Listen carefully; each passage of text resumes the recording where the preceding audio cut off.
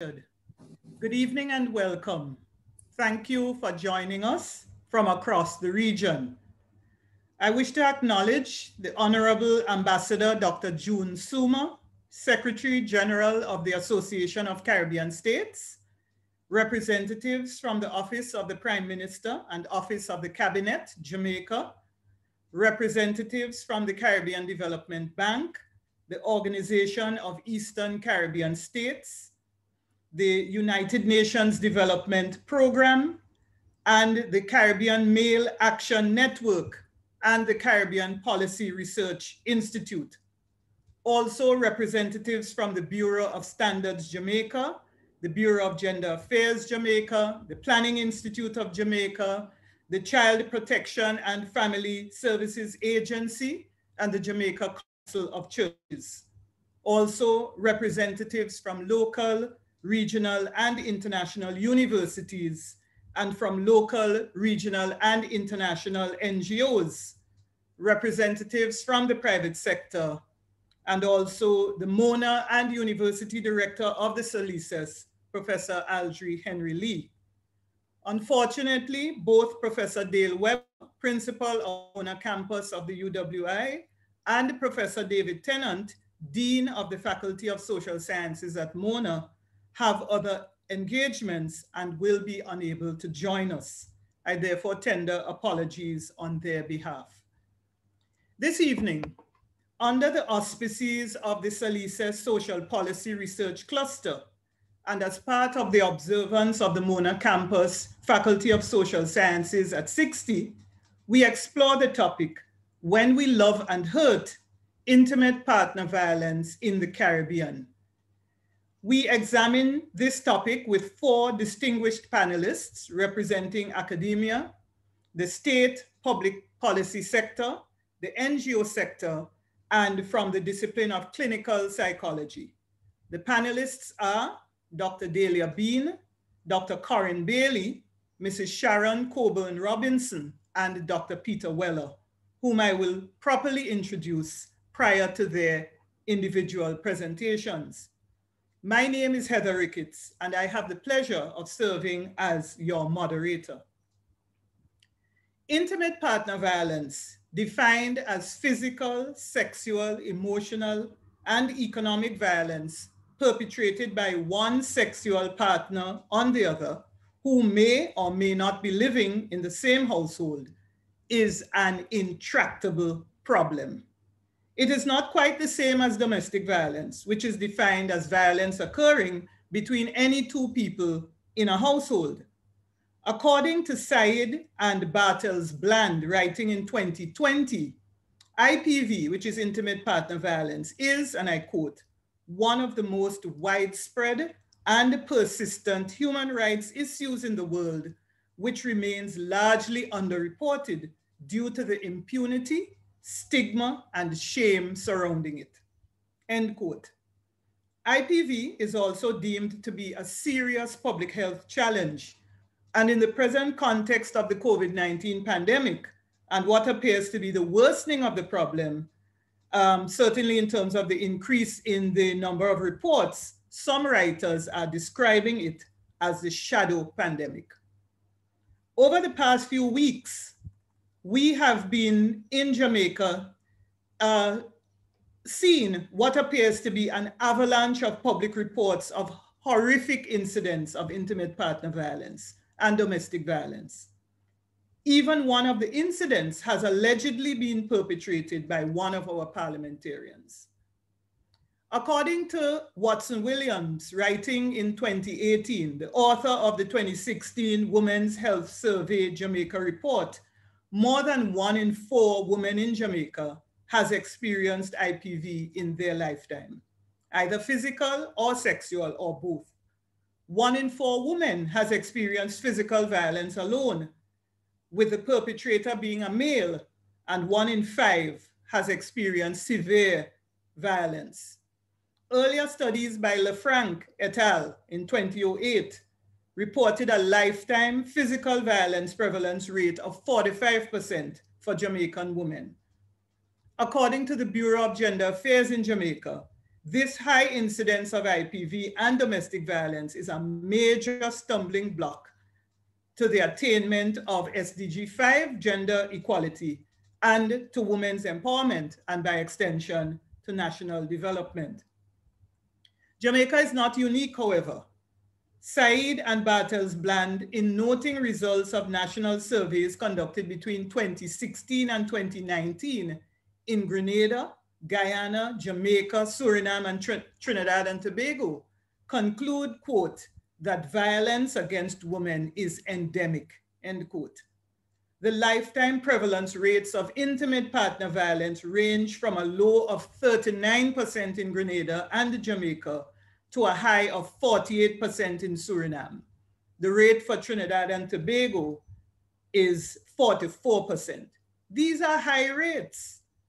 My colleague, Dr. Sharon Priestley, in her 2014 publication, The Prevalence and Correlates of Intimate Partner Violence in Jamaica, in which she reported results of her logistic regression analysis, found that young age, that is under the age of 35 years, poverty, and having a controlling partner, quote, consistently increased the likelihood of exposure to all forms of IPV, with control being the strongest, end of quote.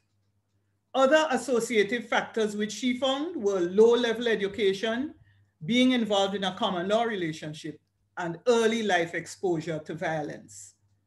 Writing with Lee in 2019, Priestley in the exploration of the factors which contributed to young males, these are now 15 to 24 years, to their violence against their partners, found that male control was the most important factor.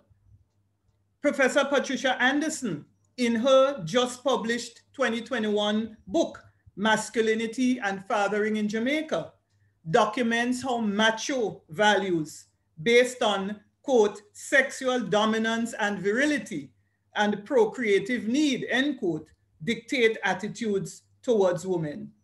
Her work, based on four communities in Jamaica, distinguished by social class, found that in the inner city and semi-rural communities, there was much higher percentage agreement that, quote, a man has the right to physically dis discipline his partner if she steps out of line end quote.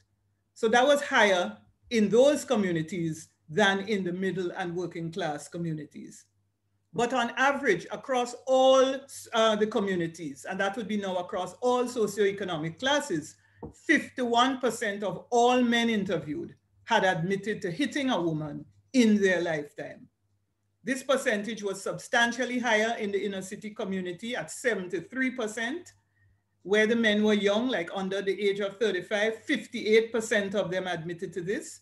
And the men with secondary education up to grade nine, 60% of, of, of them. So having provided this simple framing of the problem of IPV, which is a very complex issue, I want to now introduce our first panelist, Dr. Dalea Bean, who will provide a historical analysis showing the historical roots of IPV and ascertaining how attitudes have evolved. Let me tell you a little of Dr. Bean. So Dr. Bean is a lecturer and graduate coordinator at the Institute for Gender and Development Studies, Regional Coordinating Office at the UWI. She has researched extensively in the areas of women and gender justice in, the, in Caribbean history, sorry, women in conflict situations, and gender relations in the Caribbean hotel industry. She's the author of the book Jamaican Women and the World Wars on the Front Lines of Change, a book was published in 2017. Let me now invite Dr. Bean to address us. Thank you so much, Dr. Rick, for that important framing and kind introduction. And good evening to all our guests on this evening. Now, the title of my presentation is Looking Back to Move Forward, What History Tells Us About GBV and IPV in Jamaica. I, um, as Dr. Rickett said, I am a gender specialist, but at heart, I am a historian. And I am using my lens to give us a kind of understanding of why we are where we are and to also contextualize some of the issues that the other panelists will look at shortly. Now, why look back? Especially, of course, with the understanding that we are here in a Salises forum, which generally focuses on contemporary issues and policy formation. And for me, history, um, and in particular, the idea of Sankofa, symbolizes Akan people's quest for knowledge with the implication that the quest is based on critical examination and intelligent investigation. In this conceptualization, it is in learning from the past which endure, ensures a strong future. My overarching argument and actually a larger project of history, historical analysis, which analysis which I'm undertaking, is therefore to say that we have not sufficiently learned from the past relating to gender-based violence and intimate partner violence to contextualize contemporary cultures of violence which we are now experiencing. And so what I hope to do in these short um, few minutes is a gender justice and Sankofa we're, we're going back to get it in order to reset it and in order to move forward into a better reality. Now, um, based on my research, what we have um, found is that the plantation economy's secret weapon was gender-based violence and intimate partner violence. And we could, of course, start from before the period of enslavement, but it is um, a very short time in which I have to do this. So I have chosen to start at this point. Enslaved people's realities were shaped by endemic and systematic inequities that made them particularly vulnerable to gender specific abuses. So for instance, um, Clinton Hutton's work, including Gallification of Man and others, gives us a peek into the sexualized torture and abuse meted out to Black men by white enslavers in order to strip them of their masculinity and undermine their assumed or real sexual prowess. Um, and here we have an image um, which is said to be um, depicting this where black men would be repeatedly hit on the buttocks before being raped by some of these um, enslavers, overseers, and so on. Also, and perhaps what we know a little bit more about is that contrary to prevailing, though contested European value systems, which held women as weaker than men and in need of care and protection, enslaved women were abused with all the strength and vigor that the plantation economy could muster. And we hear in her own words, Mary Prince giving us account of one, of, of one such example. Here she's speaking about an overseer and she says, after abusing me with every ill name he could think of and giving me several hard blows with his hand, he said, I shall come around tomorrow morning at 12 on purpose to give you around 100, in this case, 100 lashes. He kept his word. He tied me up on a ladder. Benji stood to count them for him. And when he got weary, he rested. Then he beat me again. An earthquake interrupted, and in the confusion, I crawled away, my body all blood and bruises. So therefore, the power exalted over colonial, colonized peoples by enslavers was not only for monetary gain and political status, which we are accustomed to knowing, but also included rights to abuse and to sexual access to those considered to be subordinate. Some of us may know of Thomas Thistlewood, who was an estate manager and enslaver who lived in Jamaica in the 1700s. And his journal entries are replete with references of largely non-consensual sexual access that he had to enslaved women under his administration. Now, what we find as historians is that pride and honor increased. So it was only a matter of wealth, but pride, honor, what we would call today bragging rights, increased with men's unfettered access to enslaved women's past, present, and future.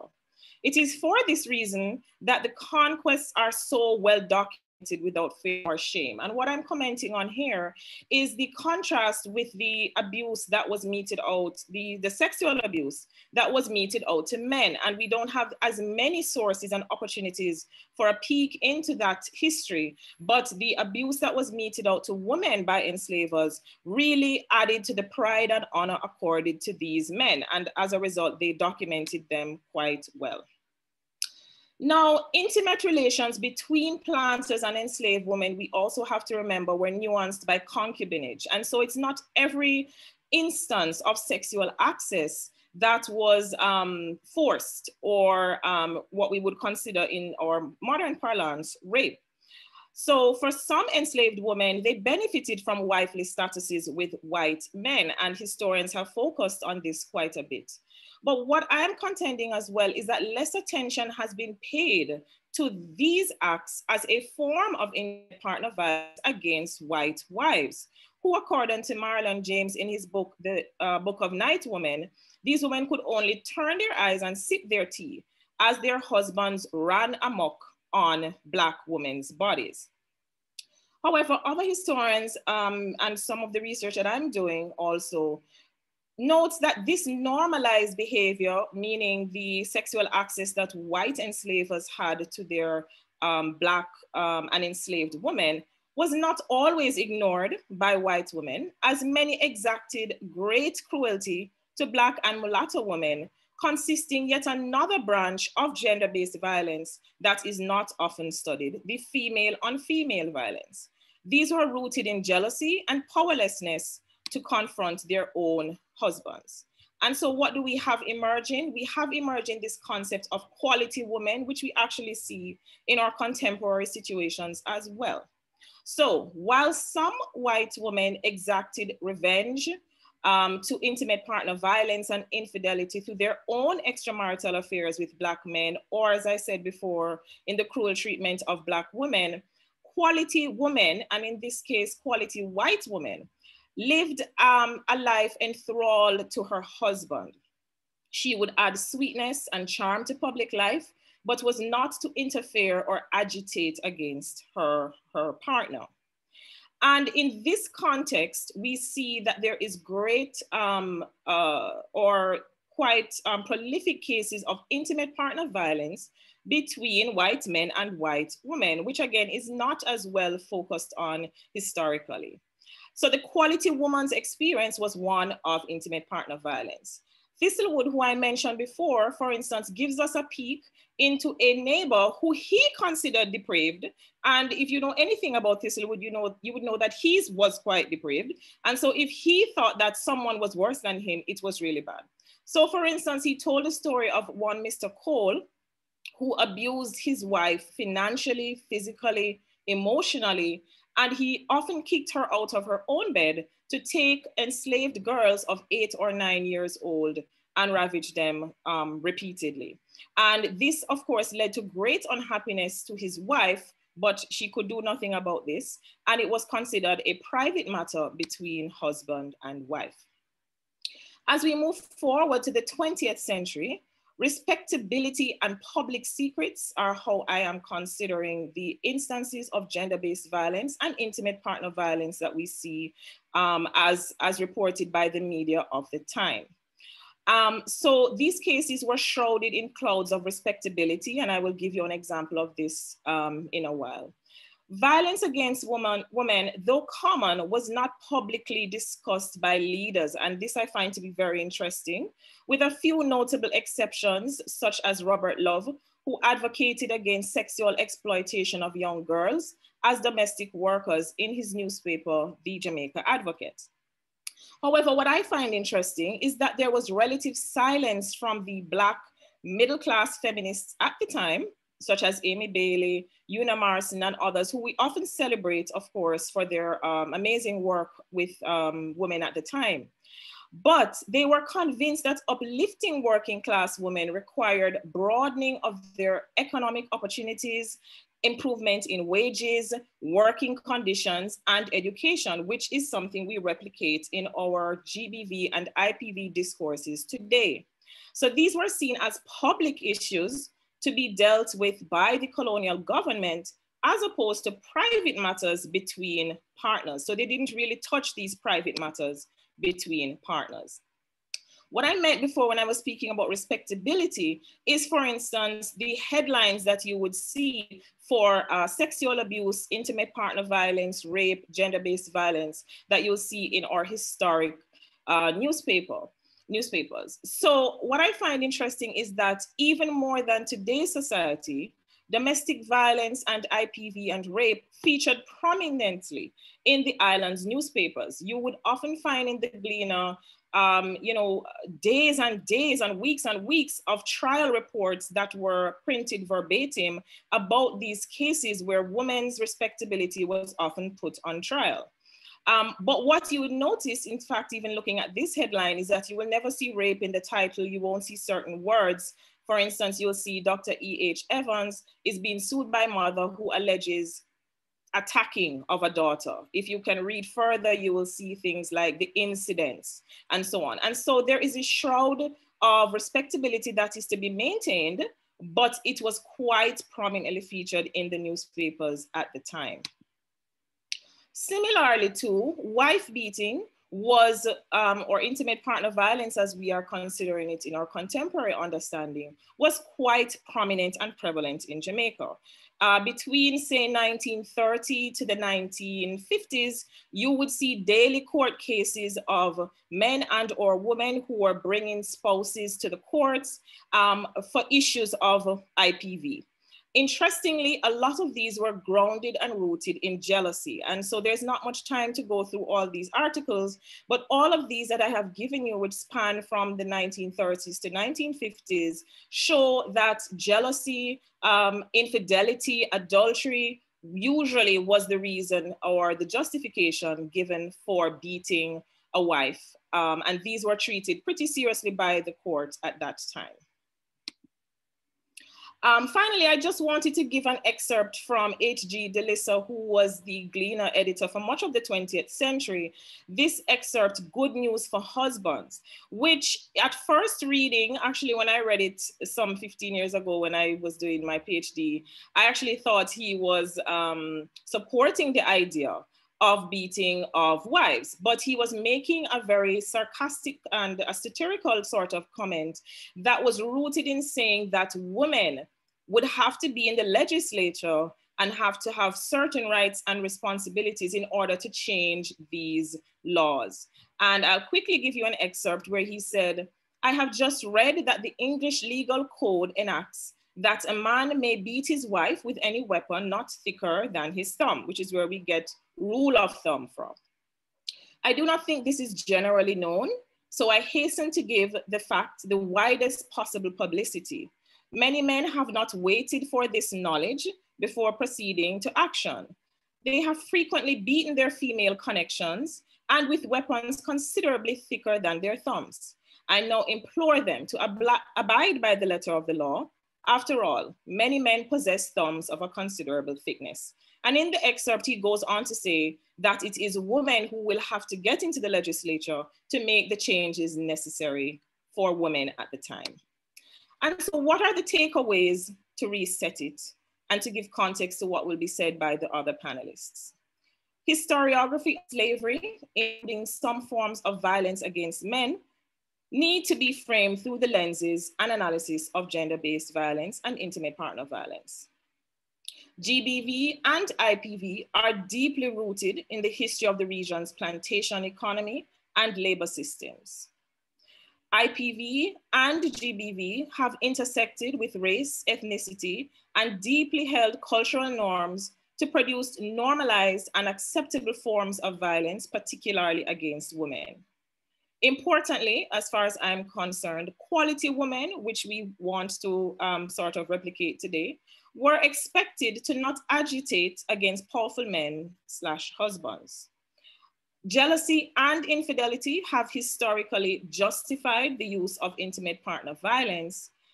And finally, that leaders, even women and even those with power, either political power or the power of the pen in the 20th century, have traditionally viewed IPV and GBV as private matters. And this is where I think we are left today with this thought that it is a private rather than public matter. And so I'm so happy to be part of the ongoing conversations, which are publicly and importantly um, uh, contextualizing this as a public discourse rather than private matters. Thank you so much. Thank you very much, Dalea. It's so important, as you say, looking back to look forward, the importance of looking back to be able to look forward. And I took away from your presentation the point of how deeply rooted in the plantation economy and labor systems, IPV and domestic violence uh, are. Thank you very much, Dalea. Before I go on, colleagues, um, you will um, permit me, please, to just acknowledge Professor Elsie LeFranc, uh, Carol Watson Williams, Dr. Sharon Priestley, whose work I quoted from in my introductory remarks. And I want to acknowledge as well um, the Honorable Ambassador June Soomer. I was not sure, Dr. June Soomer, whether uh, you were on when we began. So special uh, welcome. Also special welcome, I see Professor Hamid Ghany from SALISES St. Augustine. I see Easton Williams from the Planning Institute of Jamaica and Taitu Heron, just acknowledging you. Uh, before we go on, before I move on to Dr. Corin Bailey, let me say that um, we are asking you to place your questions in the Q&A section here, not in the chat, but in the Q&A section. It's easier for us to manage that way. And you're free to move to pose your question, whether to a specific panelist or whether a general question open to all panelists. So colleagues, please remember in the Q&A to pose your question. Okay, so to explore now the contours of the problem of IPV and to locate it within an overall culture of violence in the Caribbean, where social relations are characterized by physical and psychological domination, I will invite Dr. Corin Bailey to speak. But before he speaks, let me just tell you a little bit of him. So Dr. Corin Bailey is a senior fellow at the Sir Arthur Lewis Institute of Social and Economic Studies on the Cave Hill campus. He is a prolific researcher whose work is situated within the fields of sociology and social policy, but he has a very special focus on youth and crime and on poverty. His latest co-authored book publications are Caribbean Crime and Criminal, Criminal Justice, Impacts of Post-Colonialism and Gender, which he published in 2018. And the other book, Rethinking Poverty, Assets, Social Exclusion, Resilience, and Human Rights in Barbados, published in 2019. Thank you. So I introduce now Dr. Bailey.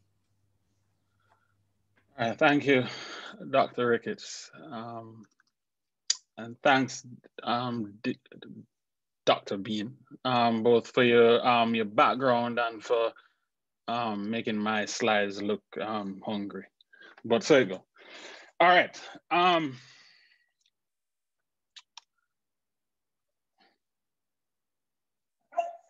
all right, patriarchy has emerged as a oh boy. All right, forgive, forgive the dogs. Um, patriarchy has emerged as a kind of uh, um, theoretical axiom as it relates to intimate partner violence. Um, and obviously, uh, while no analysis can um, take place absent of it, um, it's important to ask ourselves whether or not this provides an ad adequate background on its own um, against which violence against women can be discussed we of course can, can acknowledge that um, gender violence takes place in a variety of different forms, um, has a range of, of, of, victims. I think it's important to recognize that and to um, make the point that the focus on male to female violence, um, whether whether intimate partner violence or otherwise, is not to suggest that other forms do not exist or are, are unimportant. Um, its privileging is, is due to the urgency, the historical urgency really, um, and the severity of the issue. Uh, while both uh, men and women in the Caribbean have shown themselves to be violent, um, battering is a male to female problem. And the vast majority worldwide of those um, needing medical attention as a result of it um, are women.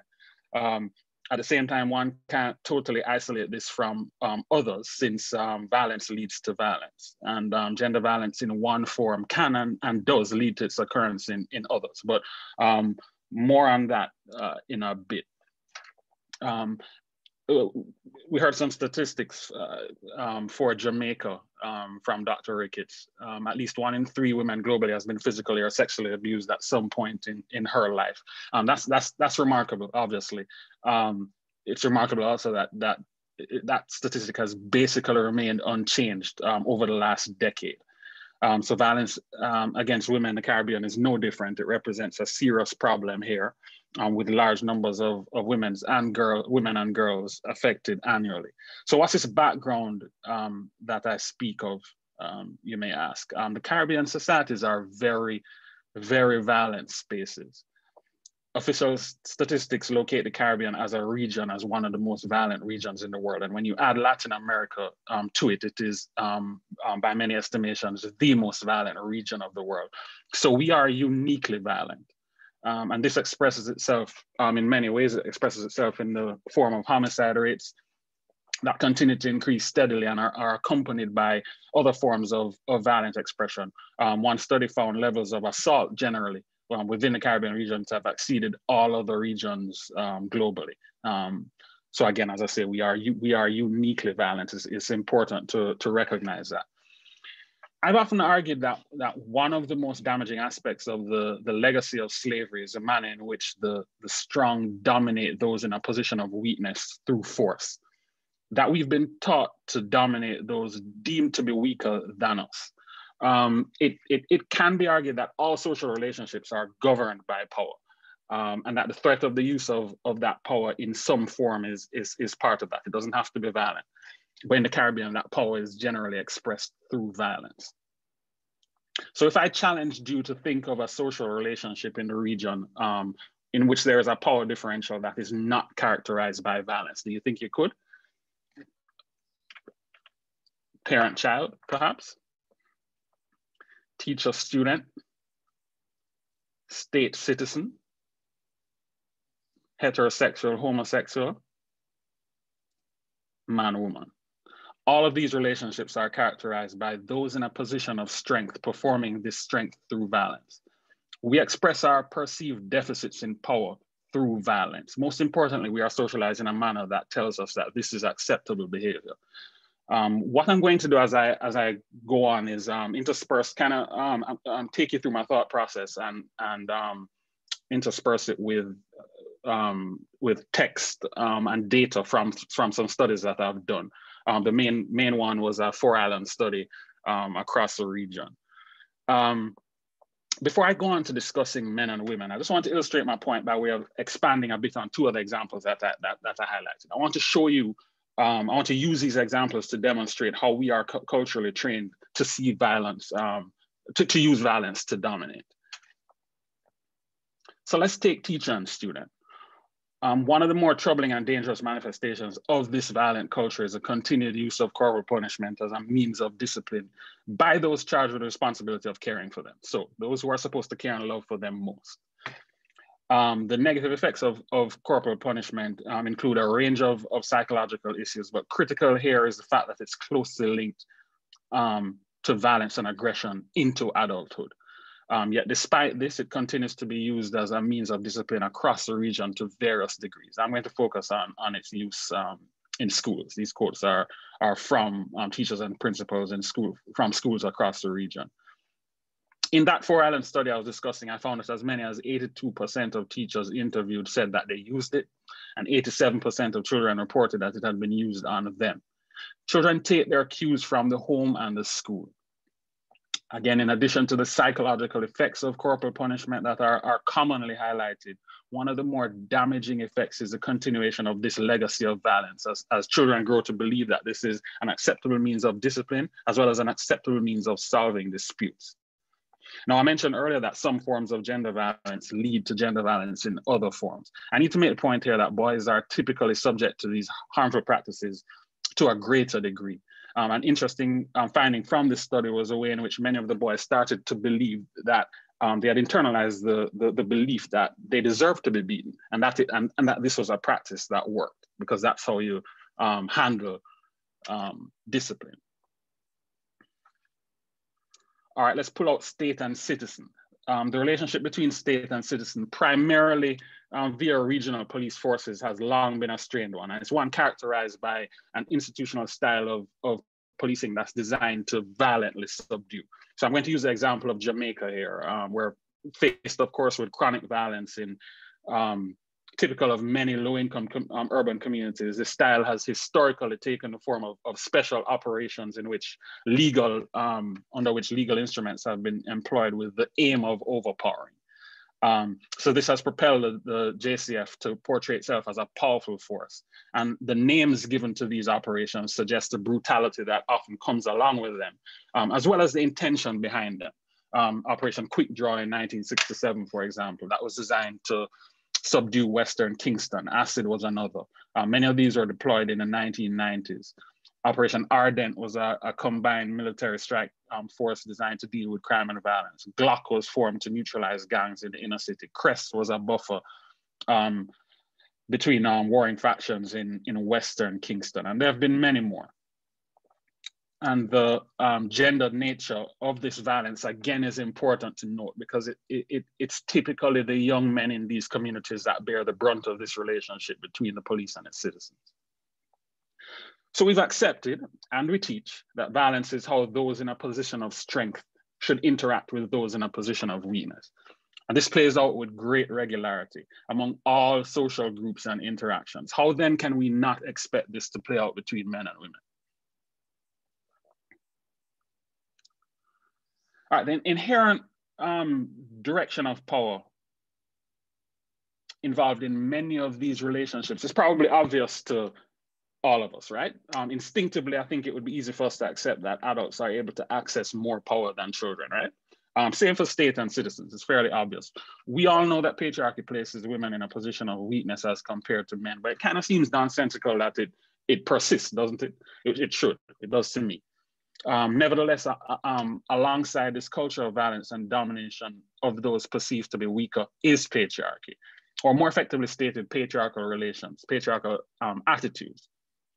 The link between the argument that I am making and patriarchal relations is that um, the most destructive characteristic of patriarchal relations, as I see it, is the fact that it teaches that women are less than they don't they, they do not and should not occupy the same status. And so in keeping with the with all the other social relationships that i highlighted um, a while ago um, in which one group is less than the other they are dominated by force either violent or or or otherwise. There, there, there are people here, of course, that are, are better equipped to give you a lecture on, on patriarchal relations, but I just want to say that these are social and cultural norms passed down from one generation to the next that position men as superior to women that position men as owners of women. Um, these ideologies are cultivated within the family and they're, they're perpetrated by and legitimized by external institutions such as the school, media, and church. Much of, of, of this manifests um, in the roles ascribed to men and women. We all know it well. Um, patriarchy oversees the indoctrination of women into um, narrow confines, mother, daughter, wife. Um, women have um, to a large extent been characterized as a, a homogenous group um, with social, political, and psychological qualities that are separate and distinct from men, and such render them um, more suitable to specific roles. And so boys are taught, um, boys and young men are taught that one, women are different to men, and so they're inferior.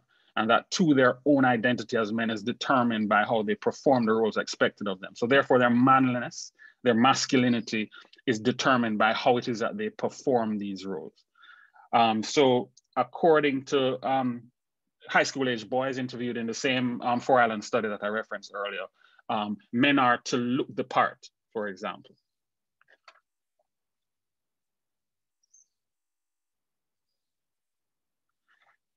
They are to be heterosexual.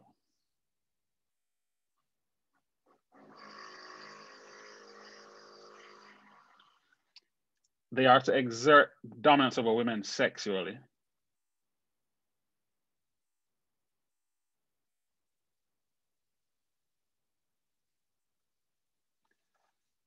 as well as in the home.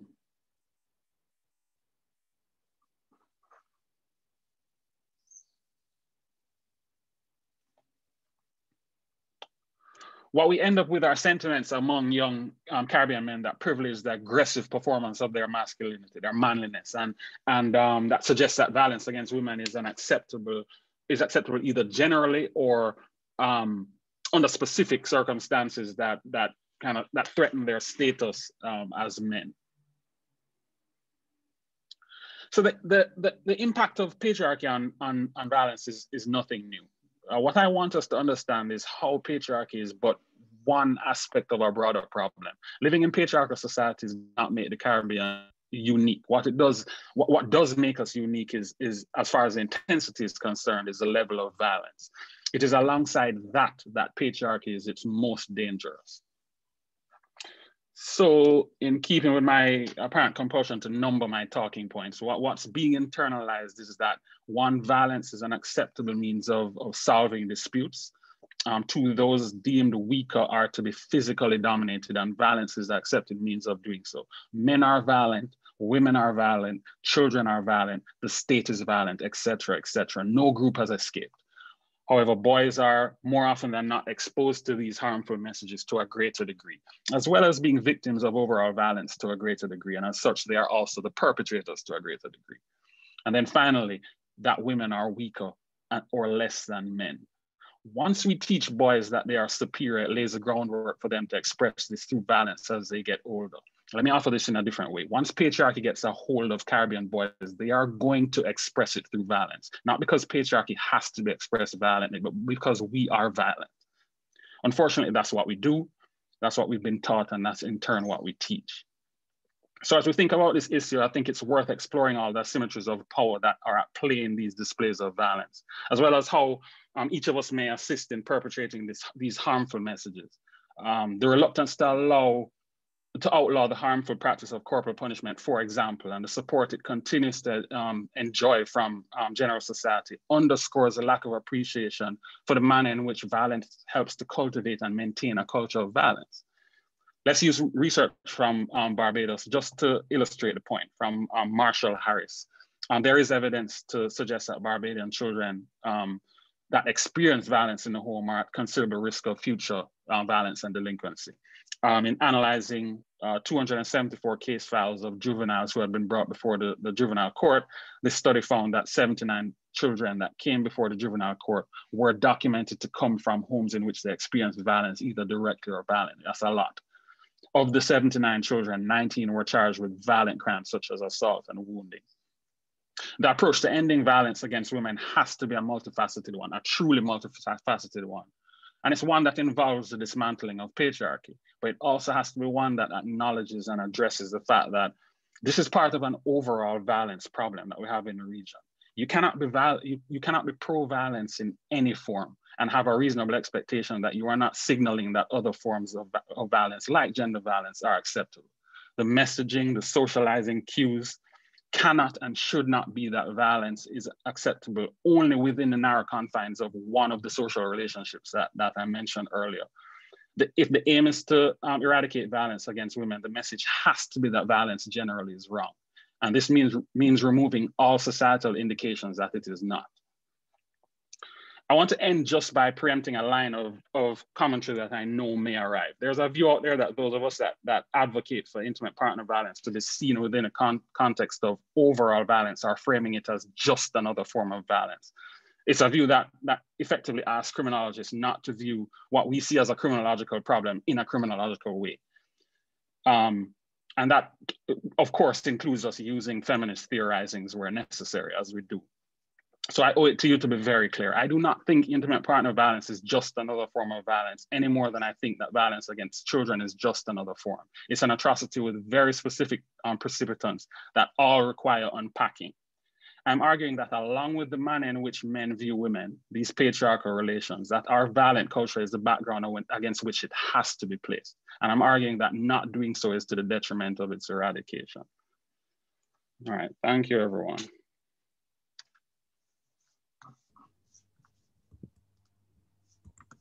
Thank you very much, um, Corin. Thank you so much. I mean, you know, the point of the Caribbean being uniquely violent, and I like how you ended that IPV is not just another form of violence. Um, it's very, very, a very important point.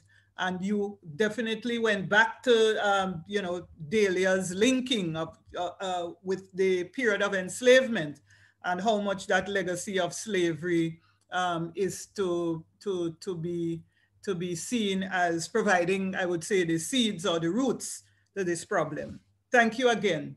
So um, colleagues, just remember that if you have any questions, please place them in the Q&A section. I see there are four questions already, and we will take questions at the end of, the, of all the presentations. So we're moving on. We've heard from Doctors Bean and um, Bailey, and now we'll hear from Mrs. Sharon Coburn Robinson. So she will provide us with the response of the Jamaican state um, and she'll share the policy and program interventions aimed at reducing IPV, eliminating IPV and domestic violence, um, but more broadly, the policies and programs aimed at achieving gender equality. Let me tell you a little of Dr. of, of um, Mrs. Coburn Robinson. So she is the principal director of the Bureau of Gender Affairs here in Jamaica in the Ministry of Culture gender, entertainment, and sport, she's integral to the implementation of the National Policy for Gender Equality, and she is the focal point for the gender division. This means that she represents the ministry through nuanced participation in several fora to ensure the seamless integration of gender in national policies, plans, programs, and projects. And I'm sure, Sharon, you will pick up so beautifully from how Corin ended by giving us a few um, suggestions for how we need to move forward. Yes, so thank you. Over to you, Sharon. Thank you, Dr. Ricketts. This is really shaping up to be an excellent forum. And I like the way we've started and how we're progressing very nicely. So my task is to, one, do a very quick overview on the national efforts, but I think I'm going to have a little bias in that because we are the national machinery, my focus will largely be the work that is being carried out through the national gender machinery, that's the Bureau of Gender Affairs, and we are strategically placed within the Ministry of Culture, Gender, Entertainment, and Sport.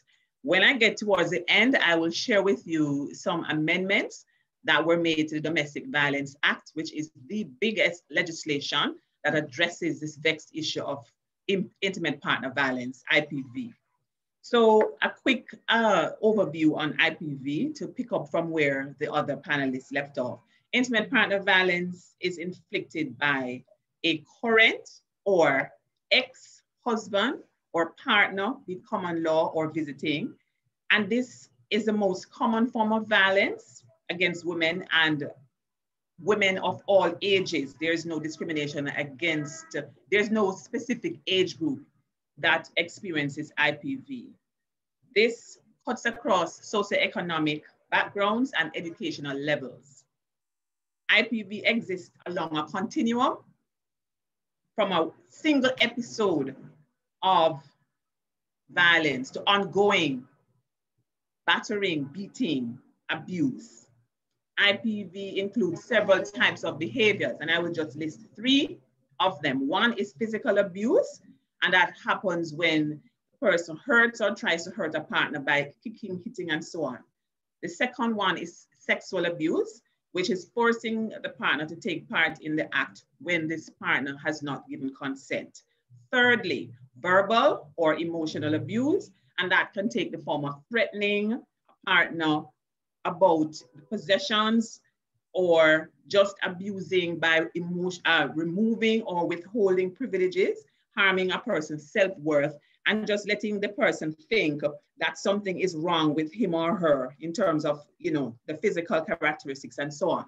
So this problem of intimate partner violence has been a long-standing issue for decades to the extent that it is a direct and it is the most pervasive violation of fundamental human rights and often results in serious injury or death.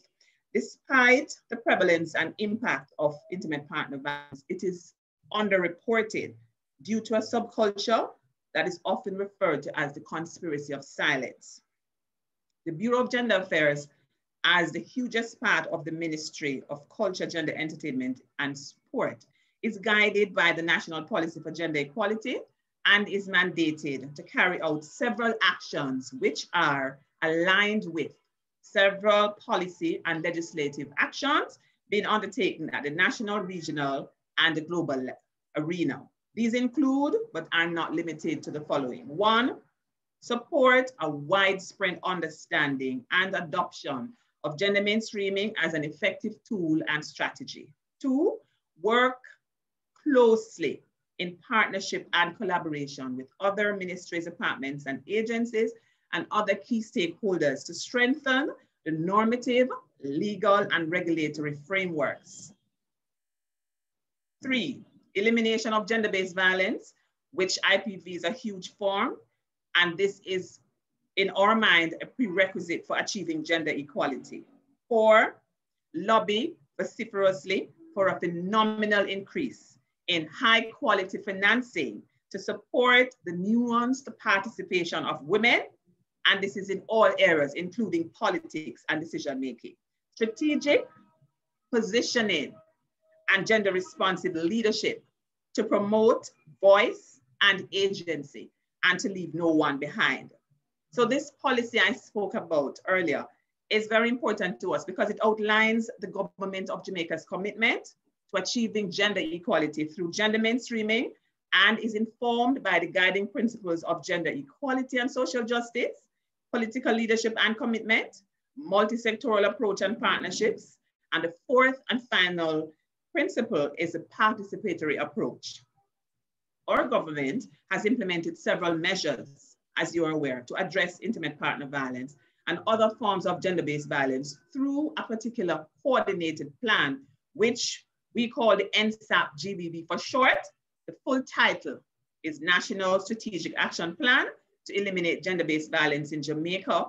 And this is a 10-year plan, which was approved in 2017 and will continue to 2027.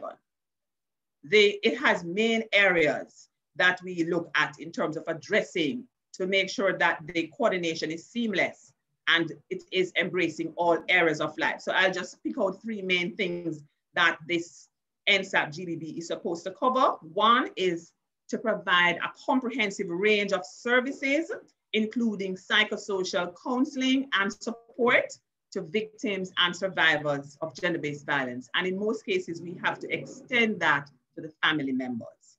Two, facilitate, uh, facilitate the requisite support to vic victims and witnesses of violence to provide recovery and rehabilitation. Three, to work closely with perpetrators to create opportunities for alternative conflict resolution and rehabilitation, among other options.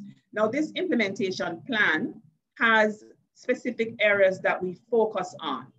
And these areas look on prevention, protection, investigation, prosecution and enforcement of court orders. How do people take out a protection order and whether or not the protection order is upheld, you might have heard um, yesterday on Nationwide, a person who was, who was speaking definitively about her experience with the protection order in that this partner, who is now her ex-partner, had been violating the protection orders. And so even though it meant that this person should not come within X um, kilometers of her, the person violated it and she had some issues with that. So there's the issue of the enforcement. How do we assist persons who have taken out a protection order to get the restraining order in place once more and to have that protection around them so that they don't feel violated and hopeless.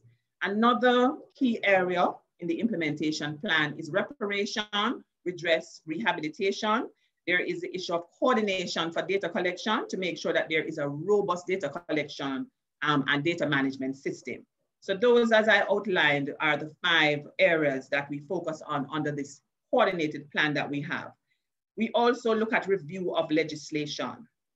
And the reason for this is several. There are several reasons. One is to ensure that there are um, improved opportunities for effective legal protection. There is harsher, there are harsher penalties for persons who are offenders and also larger or more opportunities for redress for persons who are victims of gender-based violence as well as their family members. We also have support that we provide through a special initiative that we have designed, and that's the COPE initiative. The acronym is really standing for Community Outreach Through Partnership for Empowerment. And this is because the Bureau of Gender Affairs within the ministry is in one place in Halfway Tree, but we have a reach across the 14 parishes. And so in the community liaison unit, that allows us to go to different areas and do the work. Now with COVID-19, it's limited um, interaction in terms of face-to-face. -face. So we do lots of virtual work and interface with persons who need to be supported. So this COPE initiative allows us to have a wider reach because we have persons who are doing work around intimate partner violence, gender-based violence, advocacy, helping young boys who are in um, conflict, uh, conflict issues, having conflict issues or issues with truancy at school, and other family issues that we consider important to work with. At this point, we are supporting 13 groups. And through the support of these 13 groups, we are able to do considerable amount of work through the implementation of our NSAP GBV, which I mentioned earlier. We've also increased the support and the work around the Jamaica Constabulary Force, having a support and referral pathway that allows us to have a smoother and more seamless um, integration of work. There's also support that we've been giving to facilitate gender sensitivity training for police officers and frontline responders to effectively recognize and respond to victims and survivors of intimate partner violence. You must have heard that we have opened our first national shelter. And so there are times when we need the support of the police to assist us to move persons. And this is how it works through that referral pathway that we have. We call, we give the information and they do assist with patrolling. Um, if it is that somebody is not feeling safe, they help with movement and they provide any other support. If there's a dispute, they can come in and, and warn persons, or if it is that it is escalated and there is a need for them to do more drastic, um, to take more drastic measures, then the prosecution steps in, the investigation takes place, and they will follow through and we work with them to make sure that it gets to the end. We also do other modules of uh, training with them in terms of sexual harassment, and we look at domestic violence broadly. Now we have a campaign, the No Excuse for Abuse campaign, and under that campaign, we're able to have increased support through social media, having those numbers that, that persons would need to call if it is they need to access the shelter or they need to lodge a report or they need to just get some support around issues that are you know, affecting them, family issues. They need to have guidance on how to treat matters and so on. They want to lodge a complaint. And it could be that they're doing it on behalf of somebody as well. The amendment to the Domestic Violence Act, the last set of amendments, allow for somebody to make a complaint and to lobby for another person who is not able to do it at that point. We also continue to dialogue with other ministries, departments, and agencies for strategies that are doable, practical, and cross-cutting. And we also joined the call for island-wide partnership to support the continued implementation of the NSAP to address intimate partner violence, other forms of violence, sexual exploitation, and abuse. We also tackle the, this vexed issue of toxic masculinity, which we believe contributes in leaps and bounds to intimate partner violence. And this we do to ensure that there's harmony and peace in our society based on respect for life, and the whole idea of having freedom. So I want to just share with you a few of the amendments that we had under the Domestic Violence Act. I'll share that with you for you to see. So in terms of how it is that uh, the, so on 26 April 2021, Cabinet approved the following amendments to the Domestic Violence Act. The first one is the definition. Now, prior to now, the definition, as you know, I think most persons would know, because there were some very much gripes about the fact that this definition was not comprehensive, it wasn't inclusive, and so there were several gaps. So this definition is now inclusive of domestic mm. violence as a larger framework. It includes new areas such as physical and sexual aspects of domestic violence. It also includes financial, emotional and psychological aspects, as well as exposing intimate partners through photographs, as well as if you were in a relationship and it has broken up, former partners sometimes use that on social media to intimidate and mm. embarrass persons, inflicting uh, reputational harm to victims, and using third parties to harass victims. That's the first one that has been accepted, and that's a definition. Another one is the power of the court to grant protection orders or occupation order. Now, I mentioned earlier about the protection order and the problem that sometimes happen with persons who take that protection order and the violation of it. Now, the expansion is to allow for more persons to apply for protection orders and to have larger support, so more persons to assist. And this is that other persons can assist to take out protection orders on behalf of an abused person under this act. It was recommended that the Office of the Children's Advocate, household members, and the minister with responsibility for gender affairs, I think you know that is the minister, Olivia Grange, that she be given residual powers to also include entities such as the Bureau of Gender Affairs and the Women's Resource and Outreach Center. So we can assist persons who need to take out a protection order or an occupation order and is unable to do so because of work or re-victimization, be traumatized or whatever it is.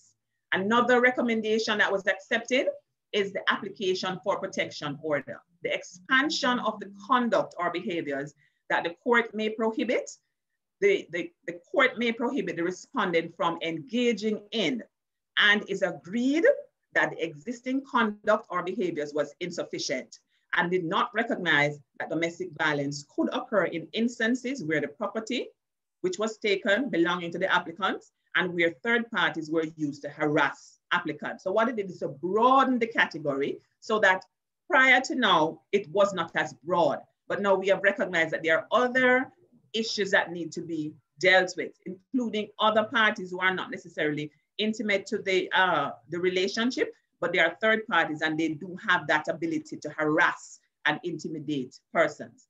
Another one is the application under section four application for the protection order. Now this is to be widened to increase so that the threshold is widened to obtain protection orders. Now in this case, the existing legislation allows for the hearing of an application for a protection order based on the listed behaviors.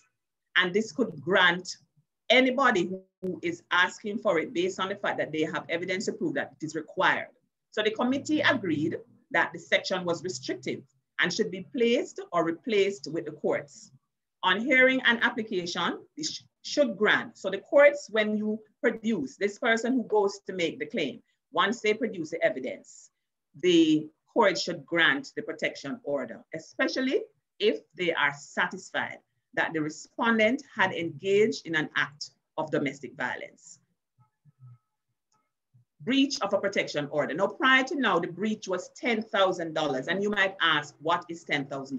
That's a long time ago. And we believe that that is very, very lame, like a slap on the wrist. And so the penalty was increased, the breach of that um, protection order. The fine was, was increased to 500,000. The conversation around it is that a million um, should be perhaps the, the, the going rate. But at this point, this is what we have. 500,000 or imprisonment for one year. And it was agreed that the previous fine did not serve as a adequate deterrent. So I think that's it for, um, I think that's it for, for that presentation. But I just wanted to end by saying we have very much understood and still do understand that gender-based violence based on all of the evidence that we have seen and all of the cases that we have seen, it's not anything that one person can tackle.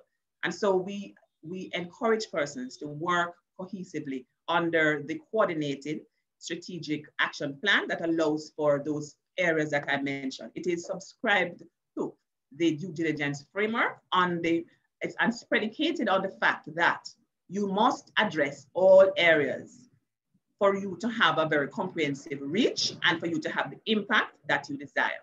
I have other information that I can share afterwards. And so I now yield to the other presentation. Thank you, Dr. Ricketts.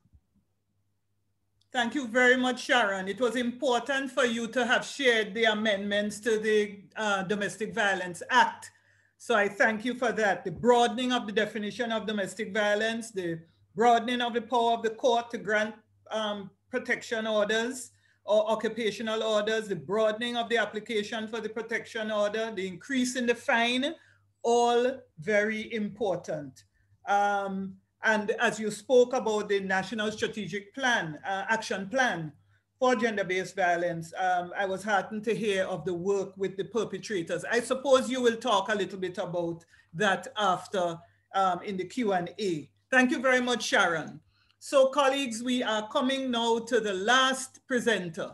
Last, but by no means least, in fact, very critical to this discussion because he'll be sharing experiences informed by his own work in public health promotion and as a psychotherapist in the Caribbean.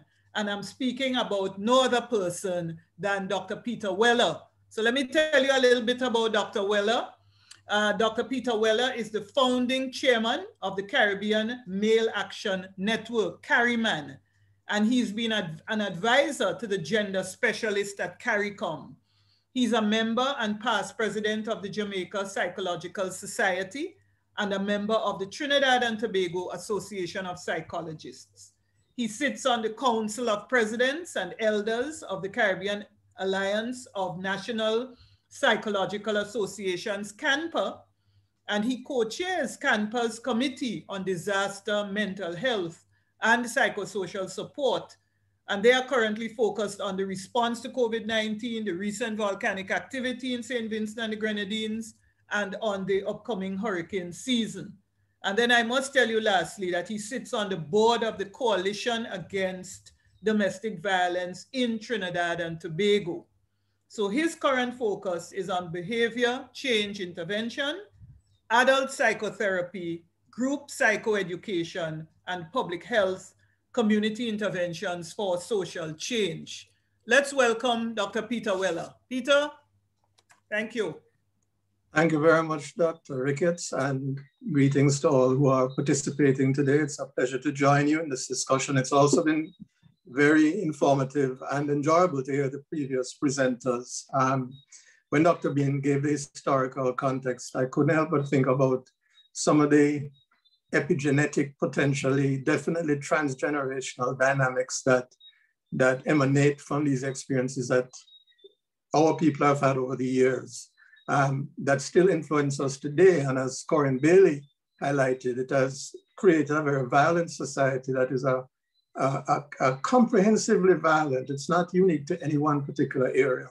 And therefore, if we're going to talk about change, we're really going to have to understand that the mindsets that, that are so automatic as to engage in violent behavior as, as, a, as a coping response, as a strategy, are deeply embedded. Um, you know, the, the transgenerational effect, but also in terms of the extent to which they are normative now and seen as acceptable. And therefore, um, as we heard from Sharon Coburn Robinson, the programs that the, that the Bureau of Gender Affairs um, has been initiating and, and, maintaining, you know, she used all the words that I think are so critical, coordinated, collaborative, strategic. The fact that, that given the depth of the belief systems that support violent behavior, interventions are going to have to be comprehensive. They're going to have to be collaborative. And I'm going to speak a little about that, perhaps take the conversation a little further, because we are talking here about behavioral change, behavior intervention. Um, I think it's critical to, I'm, I'm titling the presentation, and so what? Because I use the word and a lot nowadays because everything is intersectional. There's so many factors influencing everything that is going on that when we get too narrow in our fo focus, we, we not only lose the big picture, we don't integrate the outliers, but we also therefore don't, I think, have an effective um, change process. And I'm going to talk a little bit more about behavior change and change processes as we, as we proceed. The violence that we're experiencing, unfortunately, is likely to increase. As we continue through this pandemic, as our uh, economies suffer, as our people get more stressed with the lockdown and the fatigue, as unhealthy coping increases, and as opportunities for healthy coping decrease, unfortunately, we can expect that we're going to have more aggression, more violence, and certainly more violence between intimate partners and in the domestic space. This is one of the sad truths of the context in which we live. And, you know, we're seeing evidence of it, um, increased reports of domestic violence, increased calls to hotlines, and this is happening across the region, more in some places than others. Um, as Corin Bailey said, of course, violence is meted out by individuals to individuals, but certainly the far majority of the violence that we know about and that is reported is meted out by men to women. Again, as Corin says, though, we have to understand violence as a, as a, as a social, cultural um, dynamic uh, that positions, along with patriarchy, the, the kinds of behaviors that we observe when we talk about gender-based violence and intimate partner violence. So this is a complex thing. The history is complex. The diversity of, of, of players is complex in terms of the diversity of perpetrators, of victims, the diversity of programs, the diversity of belief systems that exist. And I'm speaking across the region because being based in Trinidad, I've certainly learned to appreciate diversity as it is experienced here as compared to the kinds of diversity we have in Jamaica, all of which influence the mindsets and the belief systems that themselves influence the behaviors that we're trying to change. We have to keep in mind also, and I'm going to get back to this, that when we talk about behavior change, we're not only talking about changing the behavior of perpetrators of violence, but we have to change the behavior of all society, and it requires a whole society response. So I'm going to speak a little bit now about the, the context of the idea of behavior. You know, so often we talk about changing behavior and we think about um, putting on a condom or wearing a mask or not hitting somebody. And yet behavior is far more complex than that, as we all know. Uh, the image that I usually use in terms of track, well, the concept that I that guides me is to understand that behavior is a product of what the mind has processed. And the mind processes information in very specific ways based on the individual. However, there are commonalities because of socialization and because of how the brain is structured. What is definite is that the brain is pretty much programmed to avoid pain, to seek pleasure, to approach what is good and avoid anything that's negative, all in the interest of survival. Now, if we start looking at behavior as, as simply an approach and avoidance uh, dynamic, it gives one lens to understand how we need to intervene, but it certainly is not enough to define the complexity of human behavior. Um, what I want to begin by saying is that if we think of, of behavior, therefore, as um, using the image of an iceberg, um, with the tip of the iceberg above the water being the behaviors that we observe. Because by definition, behaviors are observable responses to either external or internal stimuli and triggers. But that is not enough because if we're going to understand behavior and try to change it, we need to understand what's under the surface. And I think this is what the previous presenters were talking about the, the dynamics of the history, the complexity of the thoughts and the feelings, the attitudes and the be beliefs, many of which are not immediately visible, but are there as the basis and the foundation for the behaviors that we observe. Thus, any behavior change intervention must appreciate and um, attempt to address the complexity and the depth of this behavior. Now, to do that, we have to go beyond the awareness raising and the skills building we have to try to address the attitudes and beliefs. The challenge we face, and Corin highlighted it, uh, well, all the presenters highlighted it, is how deeply embedded these attitudes and beliefs are. Because they're so deeply embedded, they actually play roles far beyond the, the decisions we make about whether to be violent or not. They become part of our identity.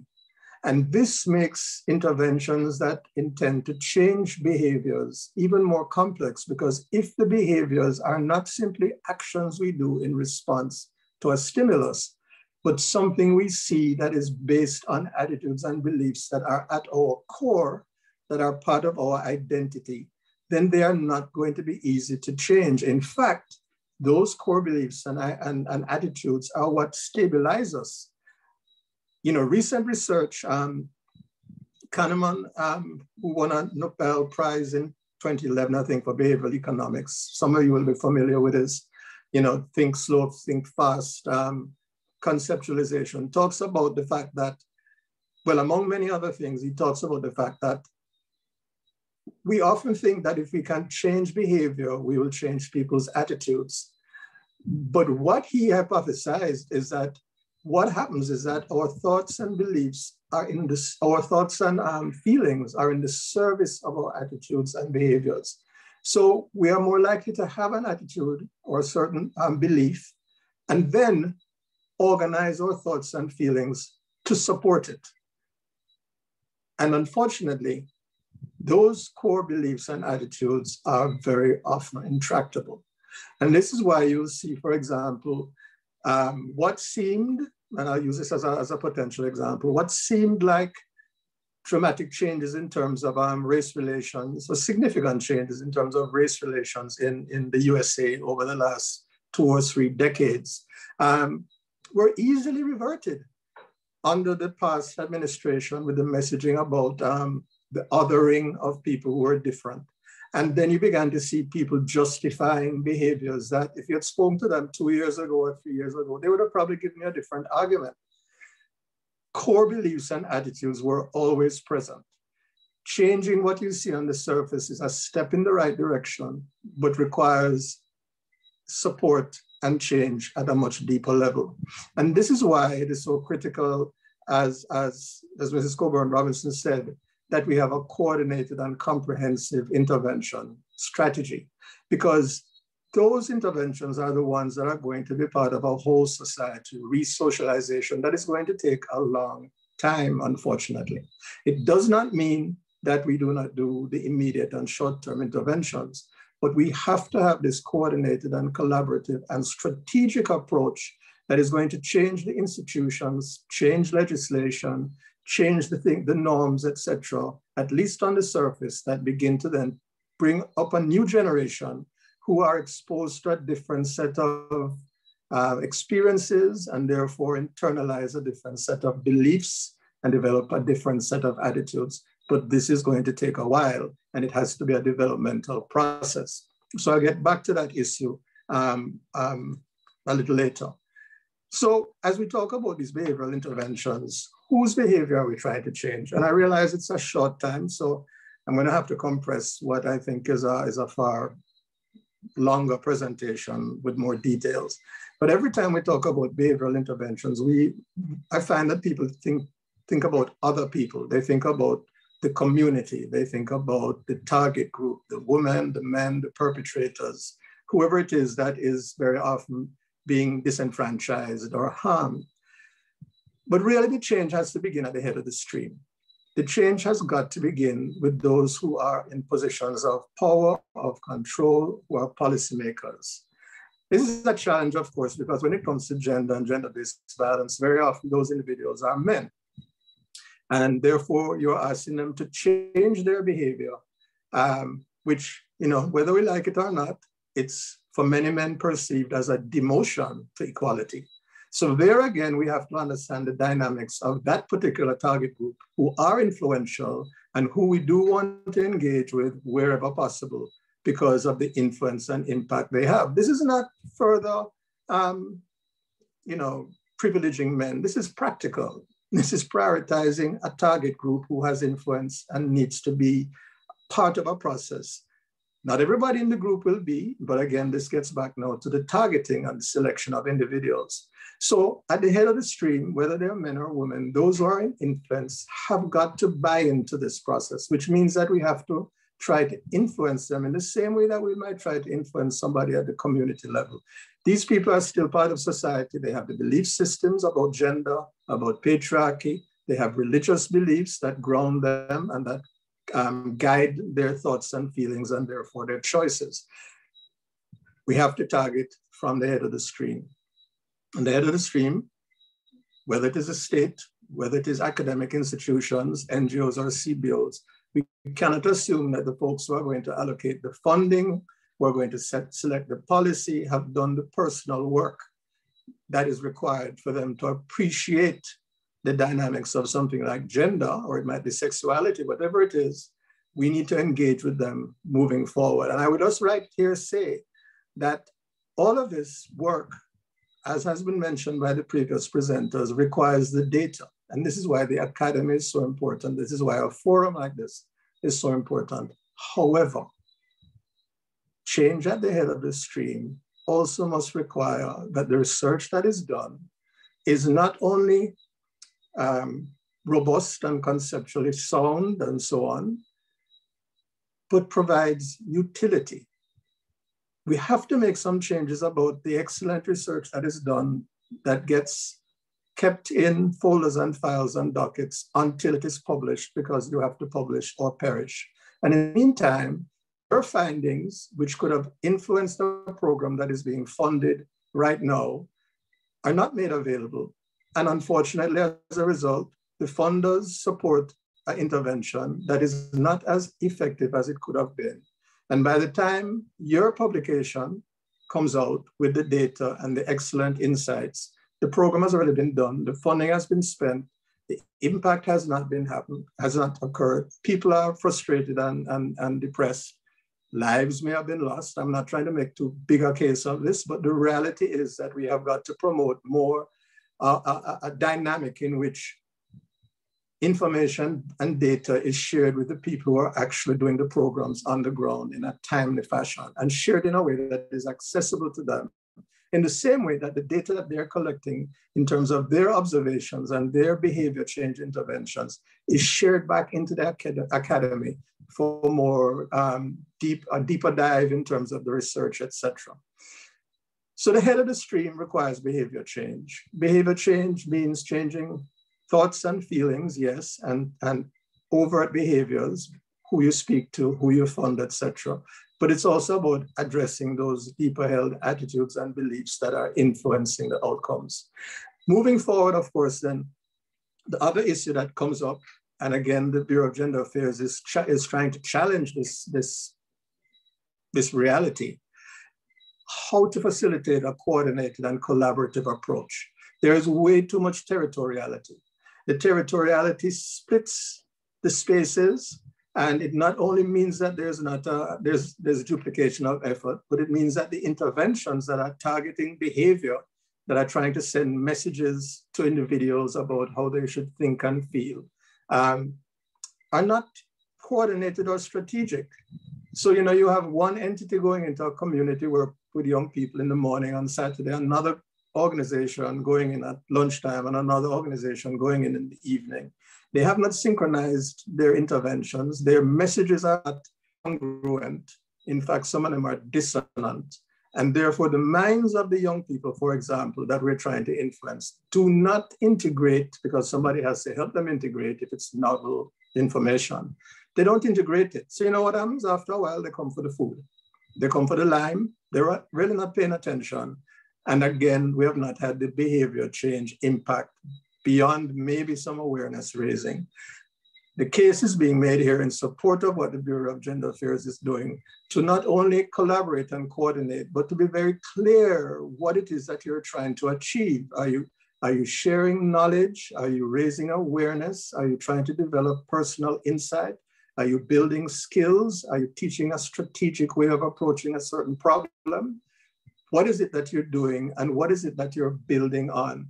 If we can move towards that kind of coordinated and integrated approach, I think that we will be far more successful in changing behavior.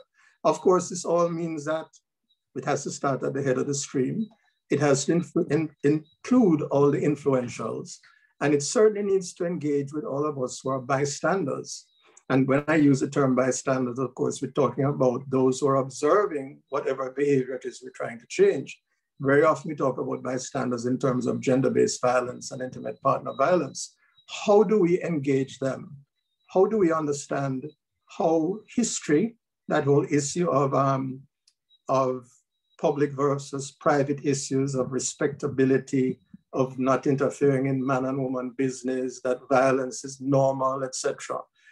How do we challenge those beliefs? Well, we have to meet these folks where they are. We have to understand why people don't intervene, and there will be different reasons. And therefore, our messaging has to address the different mindsets and perspectives that might prevent bystanders from getting involved.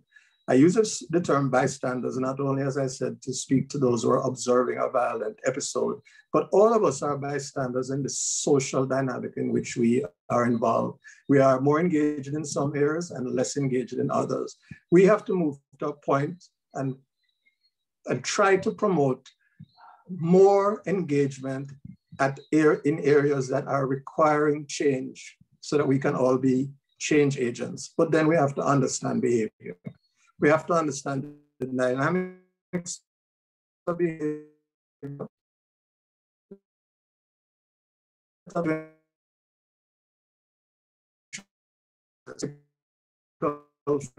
And I wanted to mention here that we all have internalized our own theories of behavior change.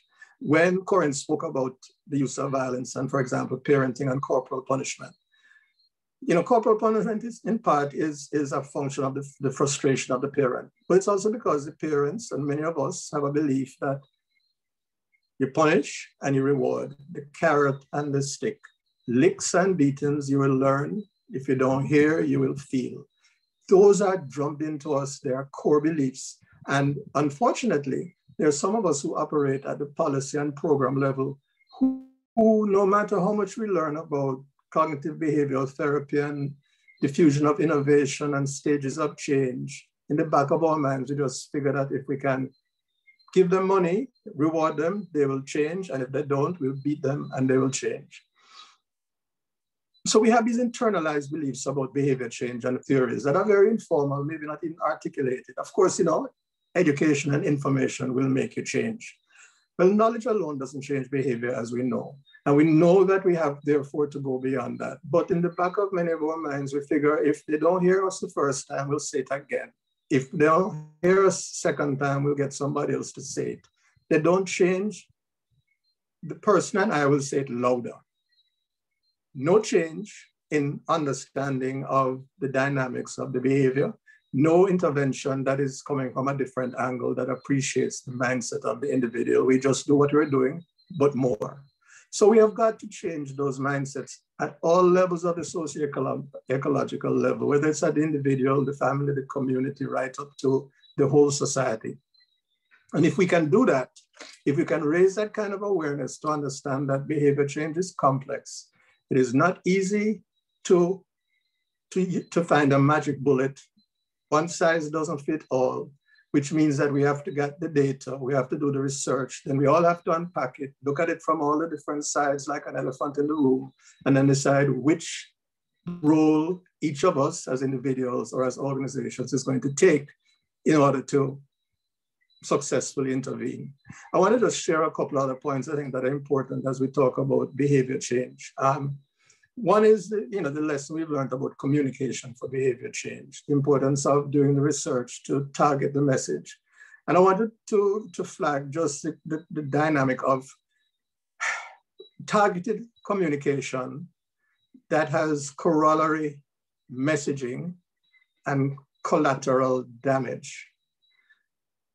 I'm saying that because with all the best intentions and sometimes a very intuitive approach to what we needs to be done, we sometimes not only miss the boat, but we do harm or, or shoot ourselves in the foot because we don't really understand what is going on.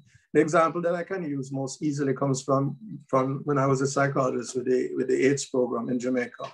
And a lot of work had been done um, to destigmatize HIV and living with HIV. And a lot of messaging went out around um, um, socializing with people who are living with HIV and AIDS, etc. The problem was that all the imagery that showed people living with HIV having a normal and happy life then began to counter the message that you shouldn't get HIV. And risk behavior began to increase and attitudes towards protection, etc., began to change among some populations because you have medication. There's no stigma. So it's no big deal. It's like herpes or the flu or whatever. That collateral damage can be dangerous because of course, if you're not protecting yourself, you can become infected, infect other people, etc. And that's direct relevance now to what we're trying to accomplish as we look at our response to the pandemic. It has relevance, of course, for gender and gender-based violence because we want to, for example, empower women, but we don't want to empower women to feel that they have to stay and fight it out with the man. So if we send a message that you are in charge of your life, you can take control, you can make your choices, we have to be very careful that a woman or anybody who's in a vulnerable situation does not feel that they have to stick it out because they should, they should make it work because they are empowered.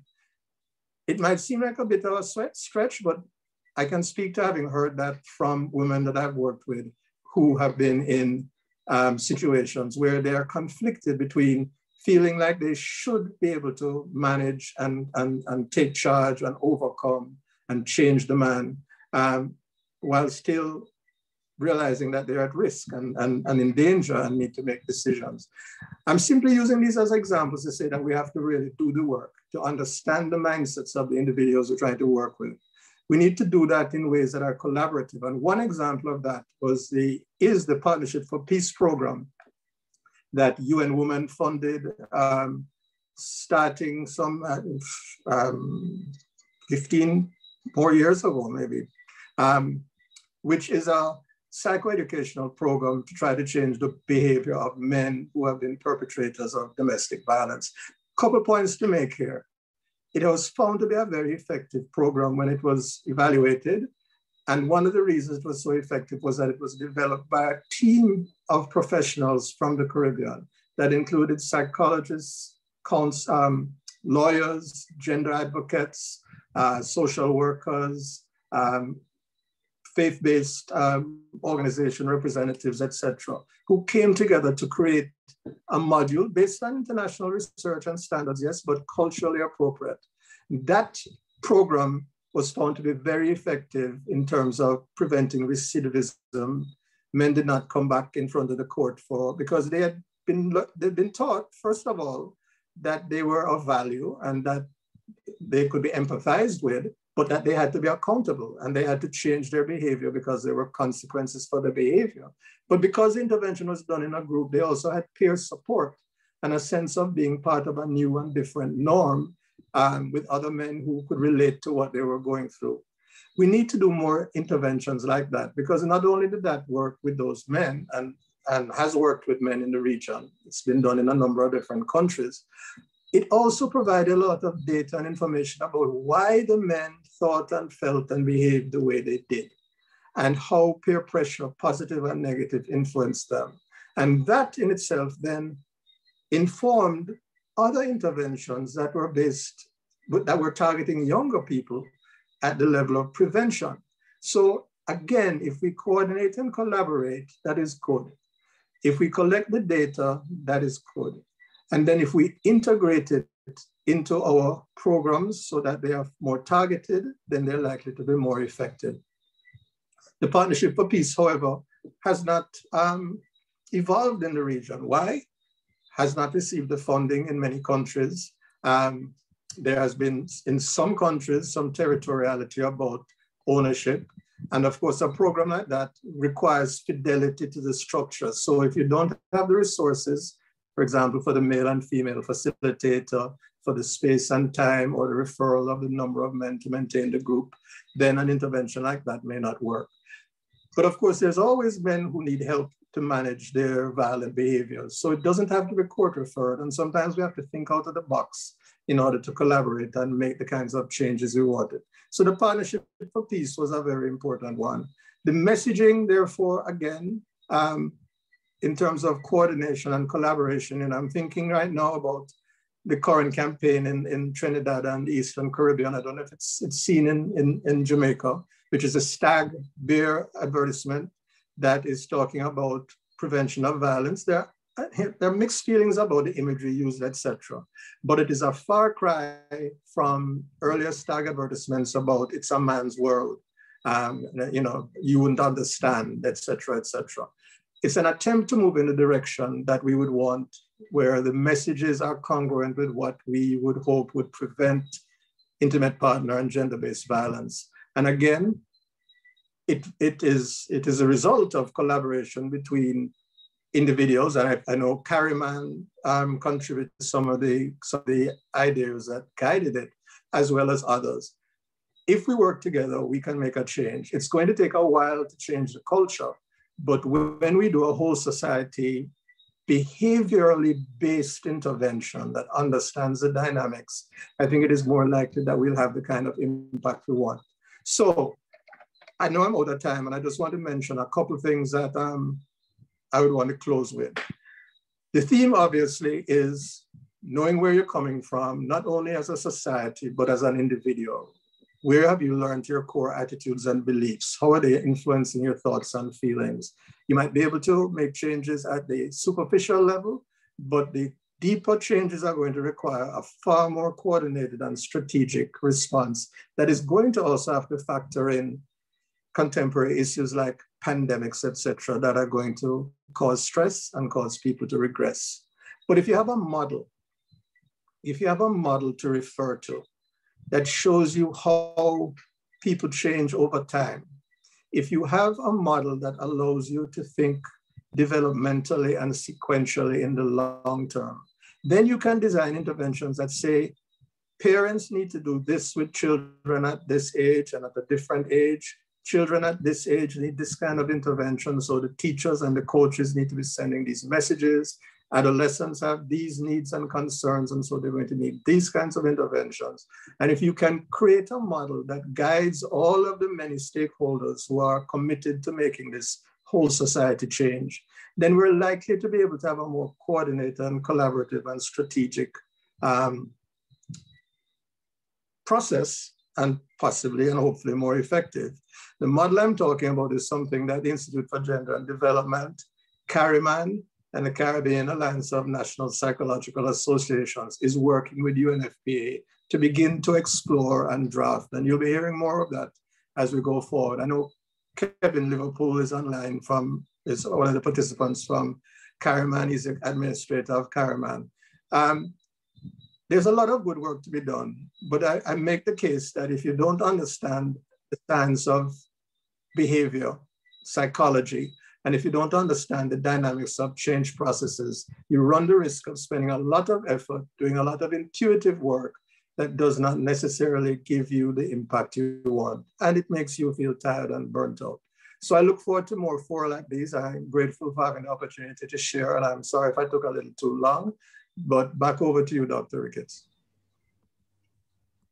Thank, thank you very much, Peter. I think it was important, although you went over time, I think it was important for the sharing of those um, recommendations, the strategies. There was a lot to take away. And in the interest of time, you know, I will just intersperse them as we ask the questions. So thank you again, Peter. Uh, colleagues, We've had excellent presentations. I believe the four panelists outdid themselves this, this, this evening, um, providing us with excellent, excellent presentations. So I have now the floor open for questions and the provision of answers. And so let me just turn to the Q&A and see what the questions are. So we have a question from Annie Paul, who is thanking you for your presentations. And she asked the question, how are we to understand anthropologist Herbert Gayle's frequent assertions that numerically men are the real victims of gender-based violence and that women are responsible for much of the violence we experience? Anybody wants to take that? Corin, Peter? I don't want to put you any of you on the spot, but just wondered. Corin? Okay, thank you. Um, yeah, sure. Um, he would explain he would need to explain what he means by um, real victims. Um, men are victims of we know that men are are victims of of violence. Um, to a, a, greater extent than generally um, than than women are in the Caribbean, but they are the victims of, of violence um, generally by their own hands. Um, they are the, they are the victims and the perpetrators of of violence to a greater degree um, by, by far um, than women. so so my assumption is that he is he's trying to make the. I don't. I, I will stay far from. I don't know what he means by at the hands of women. But my, but my assumption is that he's trying to make the point that um, um, there there are um, the nature of violence um, that that men experience, boys and men experience, is is very gendered as well, and that they are um, statistically um, victimized to a greater degree. As I said, it's important to recognize that they are are done so by their own hands. I don't think framing it um, as real versus unreal um, is particularly helpful. Um, but I think it's I think it's more important to um, unpack uh, what the different impacts are on men and women of um, of violence and indeed patriarchy, and try and bring about uh, a way to address it. It's, it's, not it's not really a competition between men and women. Th thanks, thanks, Corin. Uh, uh, I'm not sure if anybody else wanted to take that, so we can move on. Somebody's asking if you have any slides that could be shared. Will the slides be shared? I'm not sure. Um, I guess SALISES could answer at some point. Another question, what is the current approach to work being done to reform offenders of IPV? I think it's perpetrators. Sharon and Peter, I guess this question would be more for you. What is the current approach to work being done to reform offenders uh, offenders of, uh, of intimate partner violence. Sharon, Peter? Thank you. Yes, Dr. Ricketts. Well, I can't speak for all that is being done. What I can say is that um, as we talk about, you know, interventions targeting perpetrators, we need to understand that there, there are different types of perpetrators. They all may have a overarching patriarchal mindset, but there is a difference between a perpetrator who has um, been violent once and a perpetrator who has been violent on a number of occasions over a period of time. There's a difference between a perpetrator who has a psych psychotic or um, personality disorder and whose thinking is not rational or reasonable. That's a different perpetrator from somebody else who um, doesn't have a mental illness and has a rationale for why they are engaging in the violent behavior. Um, an individual who thinks that to be aggressive towards a woman and controlling is part of, of, of God's plan and what the Bible or his religious um, beliefs have taught him, um, has a different frame of reference to someone who um, just does, uh, well, I shouldn't say just, but is violent when they are under the influence of substances. I think that therefore the point I'm making is that it's not a one size fits all. Um, the Partnership for Peace program, which I mentioned earlier, was a uh, 12 to 16 week psychoeducational program, kind of like group therapy, that was found to be very effective in changing the mindsets of these individuals by emphasizing the importance of their accountability um, while still helping them to understand what had led them to, to believe that this was appropriate behavior. Those kinds of programs, unfortunately, are, are, are relatively difficult to run if they're going to follow the fidelity of the structure. One of the, the, the components of that program is that it is always facilitated by a man and a woman, a male and a female, um, to try to give a, a, gender balance in the most simple way. Um, of course, individual intervention, uh, counseling and psychotherapy are important. What is a little challenge is when attempts for mediation take place, because unfortunately, um, sometimes mediation that tries to engage the couple and, and get the man to change while staying in the relationship puts the woman or the victim at disadvantage um, because she cannot choose to leave. Um, she's being made to feel that she should stay and work it out while she's the one who is at risk. So there are a number of different interventions at the level of the, of the perpetrator. But I think the interventions that are also important are the level of the peers, which is those interventions that are targeting the men who are friends of perpetrators, the men who are bystanders, who are being influenced to say something when they see something before it gets worse. And I think that we have to pick up on a number of these. I don't know if Mrs. Um, Coburn Robinson has can, can share about some of the specific programs in Jamaica as well. I'll stop there. Thank you, Dr. Peter Weller. So yes, I endorse everything that you've said. That's your special area. So normally, naturally, you can speak definitively to that. I also wanted to mention that you, um, you spoke about the perpetrator as being someone who might not necessarily be male or might not necessarily be male because there are times when there are female perpetrators. So what we have done is to work with groups We're actually working with men, working with boys in order to bring about behavior change and to see how we can unpack some of the issues, how it is that they can um, talk about why, the why of what they did, and to work through strategies that will allow them to see the wrong of it and how it is that they can bring about reform. We have been having conversations, for example, with the Ministry of Justice to see how we can work through a refocus perpetrator program with the restorative justice arm of the ministry, as well as the Ministry of National Security, looking at the correct, uh, correctional services and another special program that they have that would allow us to have some amount of alignment. We believe that the, it's important to have the resolution of whatever conflict it is and to have the rehabilitation and to have them speak definitively about the issues, just talking about it. What we find sometimes based on the conversations we've had and the groups that we have supported, some of the stories they give us, is that they do not speak about the, the issues.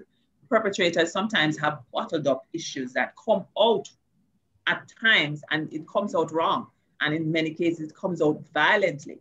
And so we believe it is very important to have them speak about the issue. So there is MOGAVA, for example, that's Men of God Against Violence and Abuse that works with men and boys to have conversations and to do real time programs. Looking at, um, there's a program we did with, with the um, Jamaica College, for example, more than an athlete, not just a player. So we looked at boys and particularly young men and um, adolescents who were involved in sport and how sport was used as a channel to have that pent up frustration and some of those issues that they had that they were dealing with as um, you know adolescents and so on some of those issues with, with puberty they were going through issues in terms of resolving conflicts and some were having frustration and not sure how to deal with it and so on broken relationships and all of the nine yards and what we found is that we brought mentors who had walked the walk they had been perhaps athletes themselves as a young person at school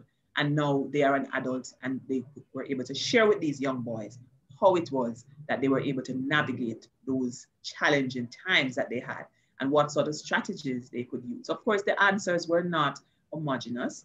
And of course, it wasn't that they are expected to pattern these men, but at least they were able to listen to testimonials of persons who had been through it, and they could actually decide for themselves what path they wanted to take and how they were able to craft their strategies.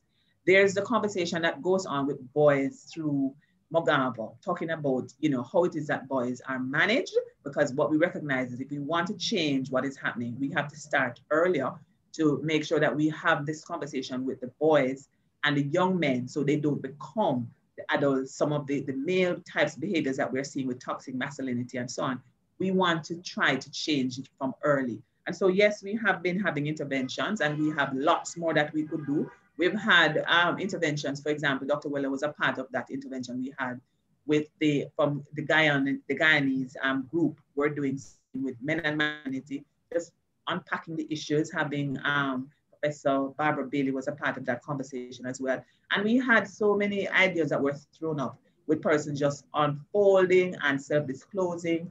And what we found is just having them talk about the issues, coming up with the strategies together made a whole world of difference. And so I will end here, but just to say that the cohesiveness really works. The, the, the, the bonding together makes a difference. When person recognizes I'm going through this by myself, but there are other persons who have gone through similar things and there are options out there and there are avenues and spaces that we can actually have to speak. And finally, I want to say we have recognized the importance of talking through stuff. And so our mail desk, which is now upgraded to a unit, allows for persons who need to speak about what is happening to call, and we have a specific hotline. It's really a helpline at this point until it becomes a helpline, until it becomes a hotline rather. And that particular number allows persons to call, speak with a male. That's our male um, special desk person who will speak with them about what is happening. And he might not be able to give them all the answers, but we have a referral system that works because we are a part of a network of services. And of course, it's it might not be solved in one day or one episode, but the ongoing uh, you know, conversation and just linking persons with other groups and other persons who can actually help yourself being very, very um, knowledgeable in your area, having had a wealth of experience, would be able to assist in that area. So you did mention earlier about the networking. That's very important and working together, working collaboratively. So I'm thinking that if we do it together, it will make a world of difference. I think those are my thoughts on that question. Thank you. Thank you, Thank you very much. Are you hearing me? Yes?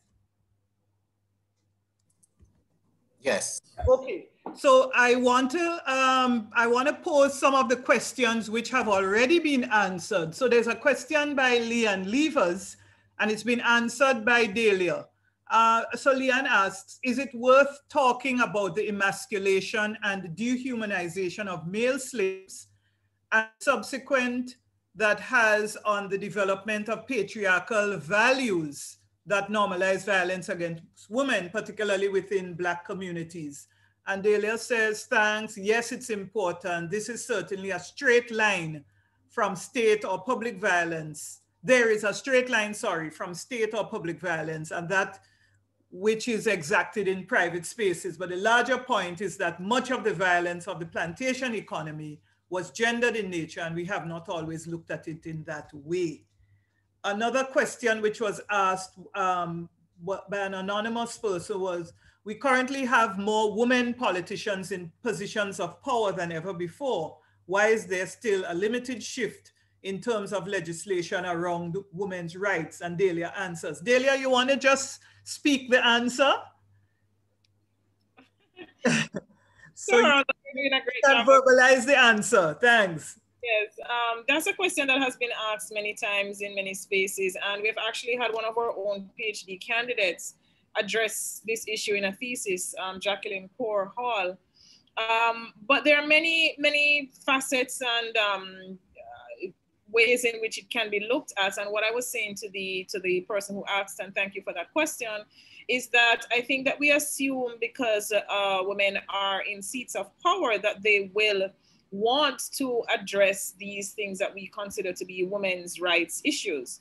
Um, and this, this is not always the case. There are other issues which politicians tend to see as broader macro economic and um, sustainable development and all of these kinds of issues which they tend to focus on and tend to see these issues as niche issues which uh, we, we have been doing a lot of work in gender studies and in other spaces such as SALISES um, to show that they are public issues which heavily um, are connected to these issues of sustainable development and macroeconomics and so on. And so the reframing is necessary to um, show the ways in which these issues are not female specific only, um, and so on. And there's also need for training. I do believe that there is need for training of politicians in general, regardless of their sex, um, as to the, the, the, nature of these issues and why it's important to deal with these in this, the seats of power which they hold. And the other point I was making is that traditionally too, male allies in seats of power have done a lot. Um, and this is also part of what the history tells us, that it has been um, you know, male allies in, in, in, in legislative seats that have pushed a lot of these agendas that are seen to be women's issues. So there are lots of things to think about, um, but I think one of the things, as I said at first, is that we can't assume that because one is a woman, she will necessarily want to, to align herself to these issues as a niche or specific area. So that was what I was saying in a nutshell. Thanks, Dalea. Dalea, since you're on, um, I believe this question might be answered by yourself, Corin, and Peter. So Easton Williams from PIOJ asks, how does patriarchy work to negate men in the Caribbean? Um, patriarchy, I'll, well, you, you did say that for three of us. Um, I'll just start off by saying that uh, traditionally patriarchy has affected all persons um, in many, many ways, some of which our panelists have been speaking about. And um, one of the things is that patriarchy is about hierarchies. And so even though we tend to focus on the hierarchy of gender, as in male over female, they, there are hierarchies within masculinity as well, and not all masculinities are ideal, and not all masculinities are, um, some masculinities are subordinated. And so the way we treat with men who we think do not live up to certain ideals of hegemonic masculinity or the ideal male is definitely one of the ways in which patriarchy undermines um, masculinity as well. So we see men acting in a certain way that we think is um, not masculine enough, and we berate them as a result. Even going back to how we raise our children and raise our boys to say that you must be tough, you shouldn't cry, you shouldn't show emotions. All of these things are to steer men away from homosexual um, proclivities or behaviors. And this is one of the key ways in which patriarchy does um, men a great disservice. There are many other things, but I will um, leave some for the other panelists to address. Thanks. I think that was an excellent answer. Any, um, Corin or Peter, do you want to add anything quickly or we could move on? You can move on from my perspective. Okay, so Peter and Corin, yes.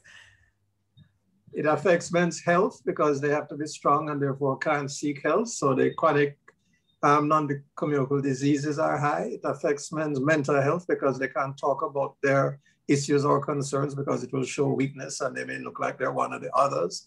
It affects men in terms of their fathering because patriarchy has never promoted nurturing behavior among men, which means that men's engagement is not simply a matter of choice that they don't want to, but they're not allowed to, they're not supposed to. And what is even worse, when they do try to, they do not necessarily have the competences and experiences to be successful, which also can lead to problems. So there are many ways in, men, in which men um, are harmed by patriarchy um, that we need to consider and we need to engage in conversations with men so they understand that this patriarchy thing is not about against men, it's about a process of socialization that we need to overturn. Thanks, Peter. Corin, did you want to add? Um, no, no, I'm okay. fine. I think they both yes, Yeah, I think they did. Okay, so I will ask Sharon. There's a question from D Chambers. How do we agitate for the legislation to be amended so that the rich or persons in the upper class can also face more stringent measures? And that was directed to you. Thank you, uh, Dr. Ricketts. So in terms of the legislation, the, that particular legislation would be the Domestic Violence Act I think she's speaking to.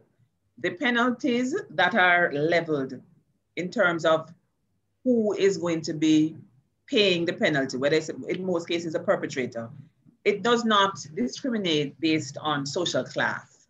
I think the idea is to ensure that whatever the penalty is, that it matches the gravity of the offense and that it is the it goes as far as possible. So we have in Jamaica our drafters, and in most cases, they will be guided by what pertains in the Jamaican legislation, the cases that we've had, the legislation that we've had, as well as the regional framework. So normally they would do the research. So we would work with the Ministry of Justice. The, the Ministry of Justice has a legal reform unit, and there is the Chief Parliamentary Counsel's Office, the Solicitor General's Office, and all of those arms of the Ministry of Justice would provide support. And I speak of that because at this point we are still having discussions um, at the level of the, well, the joint select discussions on the sexual harassment are completed.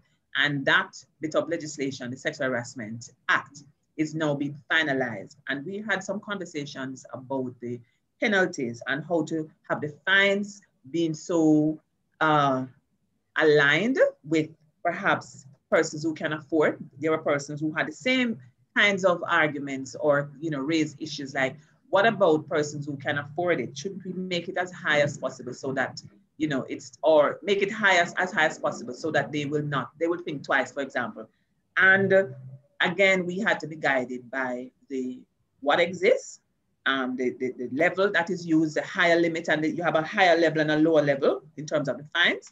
And again, that can be a policy decision because the committee for every bit of legislation has been debated, discussed. It's normally done through a joint select.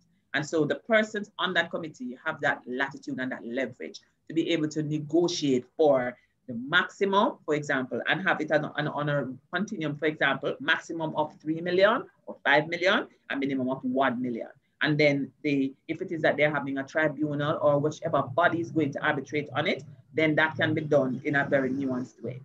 But there is no uh, discrimination, for example. So it's not as if the, it has been done to ensure that the rich pay more or that the, the, the poor cannot afford it.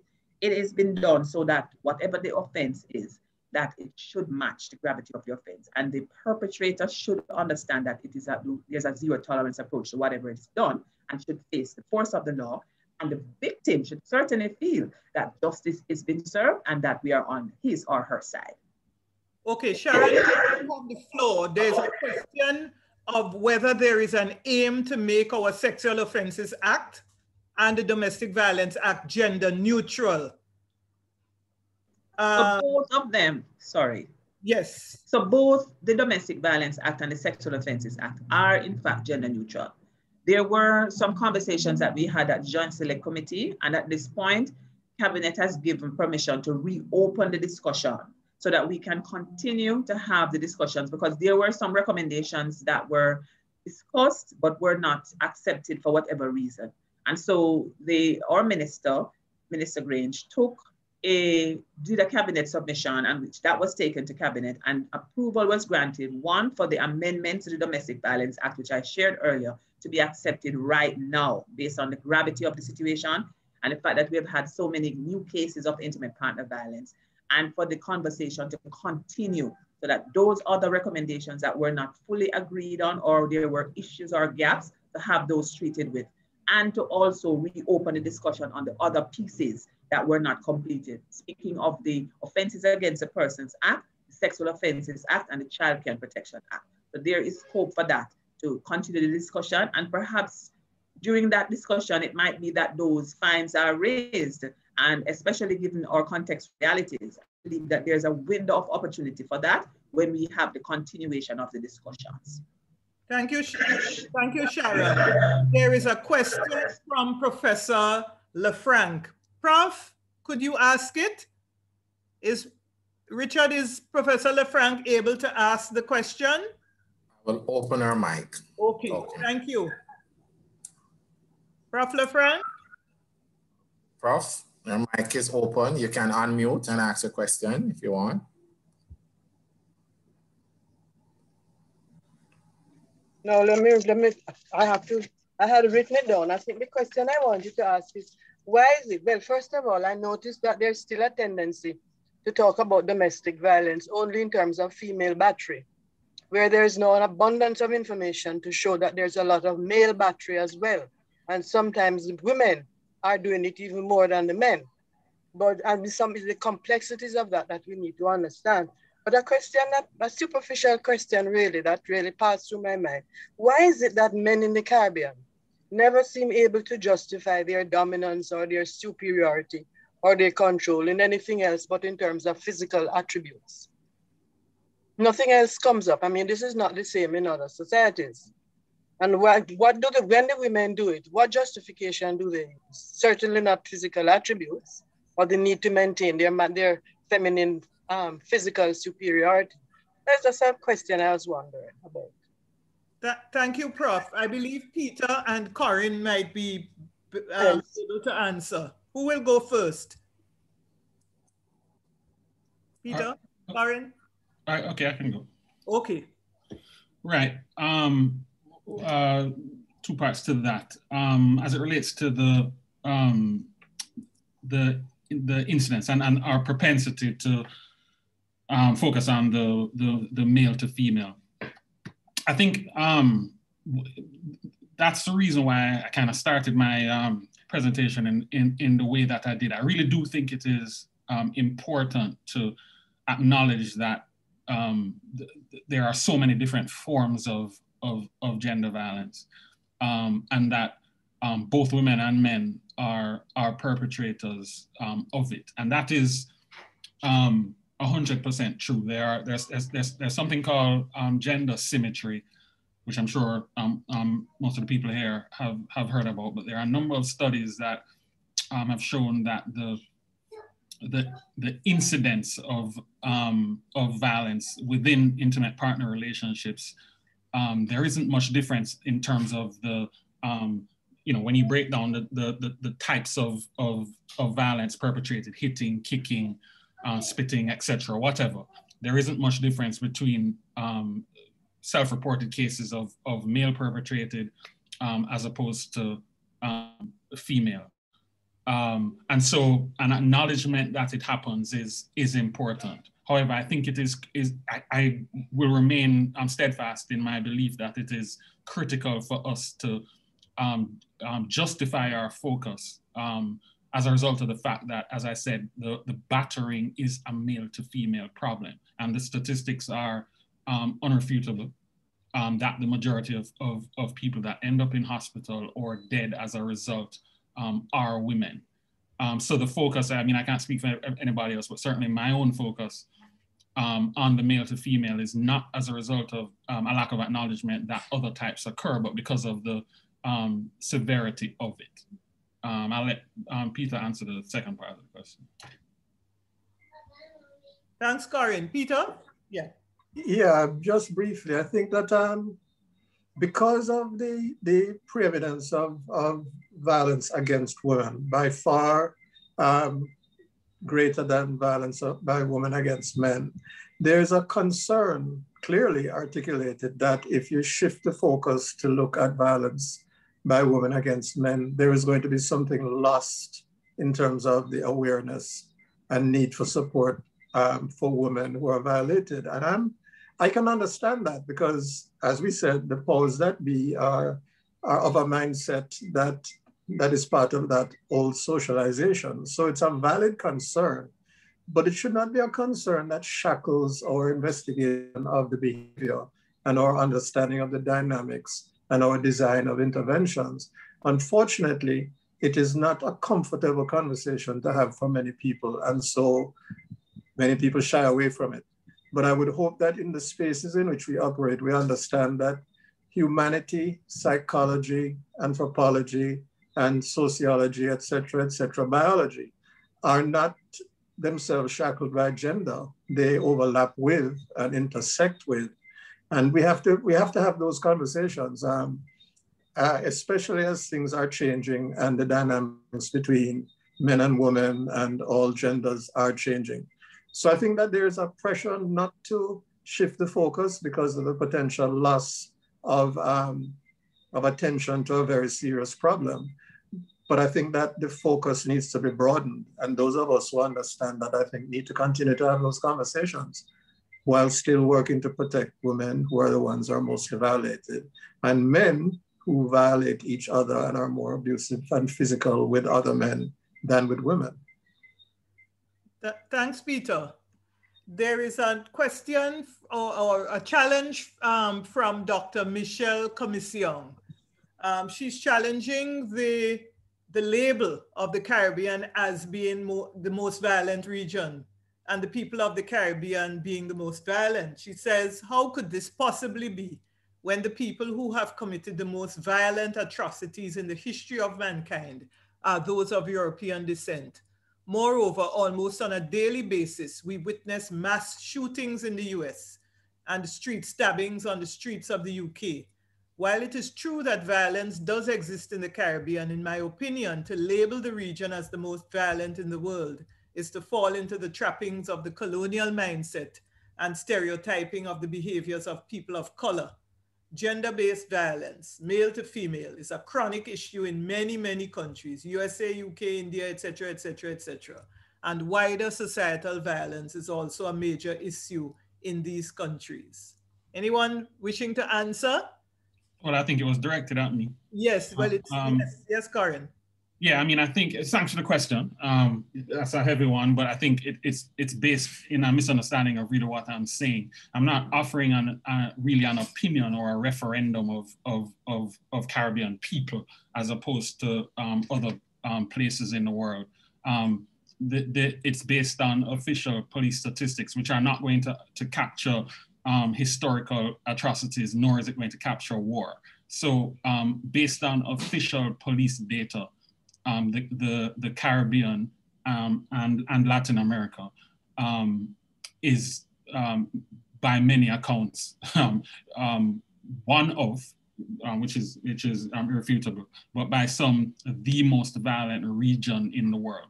also, we have to remember, yes, again, I'm not defending America, never would, but we're talking about per capita rates as well. So um, these, these are these are based on um, official statistics.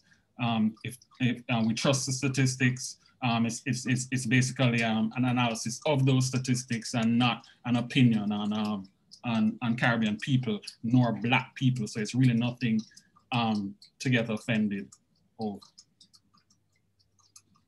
Thank, thanks, Corin. Here's a question from Professor Henry Lee. What does the data tell us about the impact of the pandemic on intimate partner violence? Peter, I believe you, you um, alluded um, to that. She's asking, are there any interventions with young men and women to educate them on IPV? Examples from Trinidad, Barbados, and Jamaica. Oh, so she's asking like two questions. First, what the data tell us about the impact of the pandemic on IPV?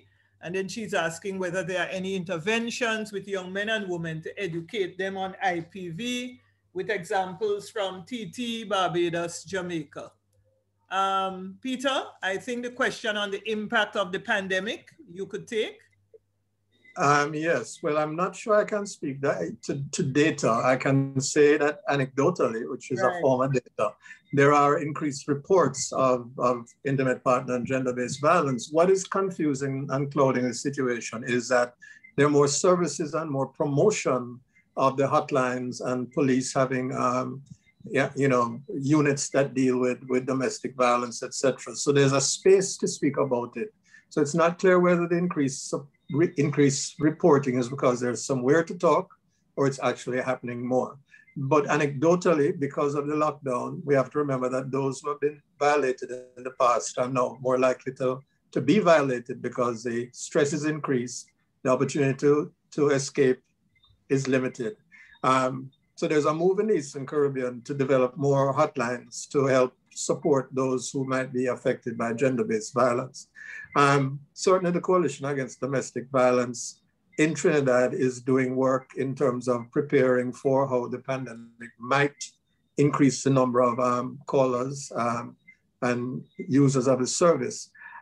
To speak to what is being done for young people about intimate partner violence, I would only just want to mention that when we did the Partnership for Peace program with men, and as I said, out of that came a lot of rich material that informed for example, the foundations program that the UN has, has, has developed, which is for prevention, and it, it is about working with young men and young women um, about gender, about relationships and intimate partner violence.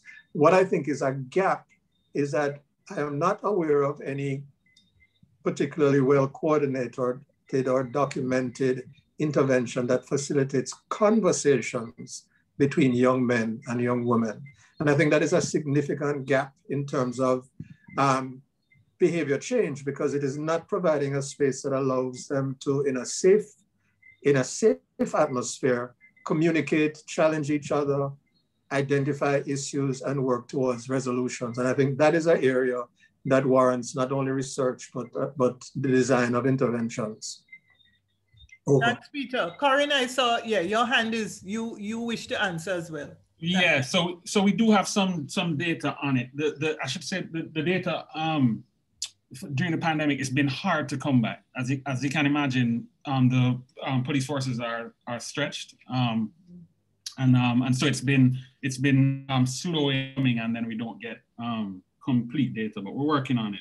Um, but for, but we, we have gotten for um, Trinidad, and it's and it's been a, a puzzling um, reveal um, because there, there has been no, there actually has been no, there was no, I should say, um, pandemic effect um, between um, January um, 2019 and December 2019. Um, but there was a un, unexplained massive spike in like in the three months subsequent to December 2019, and we're talking about when there was no lockdown in in Trinidad. People are still moving around. so we're unsure as to what that means. We'll do some some um, some theorizing and, and further analysis. But there was a there was a tripling, um, and um, I'd written down. Um, um, oh, right. Even more puzzling is that um, after the lockdown started, the current lockdown, um, cases have come down. So we're, we're, it's not really following um, the, the trend we would expect, um, but we'll see. Hopefully, um, as time passes, we'll be able to, to make some more sense of, of the data and also collect more from, from the other islands. Okay. Uh, uh, Sharon, anything from Jamaica? What have you noticed, your, the ministry, the gender, you know, the bureau? So in terms of the, the data, yes, we have, um, we've been advised that there has been an increase and we have, we have actually seen it because we've had cases where persons have indicated that violence has increased during COVID-19. Um, partners have turned against them. We actually have persons in the shelter right now because of that, that increase in violence, where um, persons have discussed that they the partners, it, it, it has become so toxic in the home that it is unsafe. And they have had conflicts, arguments, and it has, it has become heated in some, in some cases until it becomes violent and they have to flee. So we have had um, real cases that have been brought to our attention in terms of persons who have had that um, done to them and they've had to leave the relationship, leave the family with the children or to just leave by themselves and go somewhere else simply because of, of what is happening. So we have seen an increase. And we've also seen where the, when we speak with the police, because we now have an increased relationship, improved relationship with the police in terms of just um, having that gender sensitivity discussion and sensitization around how to treat with issues. We've heard in many cases that some police officers have not been treating persons in a manner that is amicable and in some cases been very insensitive and you know just been a little rash or rude or sort of like not aware and telling them to go back home and work it out because it's a man and woman issue. And so persons have asked for this sensitivity to happen. The commissioner himself has indicated that he is making sure that the workers, frontline workers and persons who are first offenders are able to have this kind of sensitization done that will increase their sensitivity. So when persons complain about or come forward to report that they will listen and they will not um, judge, sorry, pass judgments or you know, come up with their own conclusion and tell them that they to go back home and work it out. So we've seen that this is allowing us to have a complaints and response protocol, which is something that we've always wanted to have. And that complaint and response protocol is something that came out of a strengthening state accountability project that was earlier that states that we we have to increase the relationship and broaden, for example, the areas that are, are available to women to report incidents of crime. When it is that the female is aggrieved, we know that not only women experience violence, so if it is that it is a male who is violated, that male person should feel very free to report. We know that persons have complained in some instances that there is a stigma attached to male reporting violent episodes and violence done against them. And so the idea is to ensure that it's gender neutral in terms of who reports and the treatment should be no different, whether it is a male reporting or the female reporting an act of violence. So yes, we have seen that information coming out and we have had real cases reported to us that we've had to treat with. Okay, thank you. Well, we're wrapping up. I see it's 7.18 and I don't want us to go much longer. I think we need to end by latest 7.30. Um, Sharon, there is a question here from Dr. Gillian Mason. She says, when you spoke about the restorative justice, um, in light of the fact that this is not appropriate for all couples, thinking specifically about issues of power, do they have any current practice for identifying for which couples this might be an appropriate approach? And if you could explain the strategy, could you do that quickly? Sure. So yes. the refocus, and thank you for that. So we do understand that not all couples are going to be able to have conflict resolution or mediation done because we have found in many cases that that can be harmful to the persons involved because in many cases there are unresolved issues and sometimes what presents as the issue are not what presents as the issues are not necessarily issues sometimes there are hidden unresolved issues that are not coming to the fore so this perpetrator intervention that we are speaking about has to do with taking the perpetrator approach because the NSAP, which I spoke about earlier, which is a plan, under, underscores the importance of treating with the perpetrators in a separate space. So you have victims and survivors, and you provide the services that they require, whether it is shelter, psychosocial support, mediation, and so on, for the victims and survivors. You take the witnesses and you treat with them. And the third layer would be the perpetrators. So they would be done separately, not with the person who is the the um, the receiver of the the the, um, the violence, not the victim. They will be done separately, and this is because we have had interface earlier. Dr. Peter Weller talked about the batterers intervention program. That's something that we have actually experienced and worked through with, and the program. Something for change. What was the name of it? That particular program he spoke about. We are aware of that as well, and so based on the fact that we had that interface with um, Dr. Beal, Hubert Beal, when he was doing that, and also with Dr. Peter Weller under the Batterers intervention.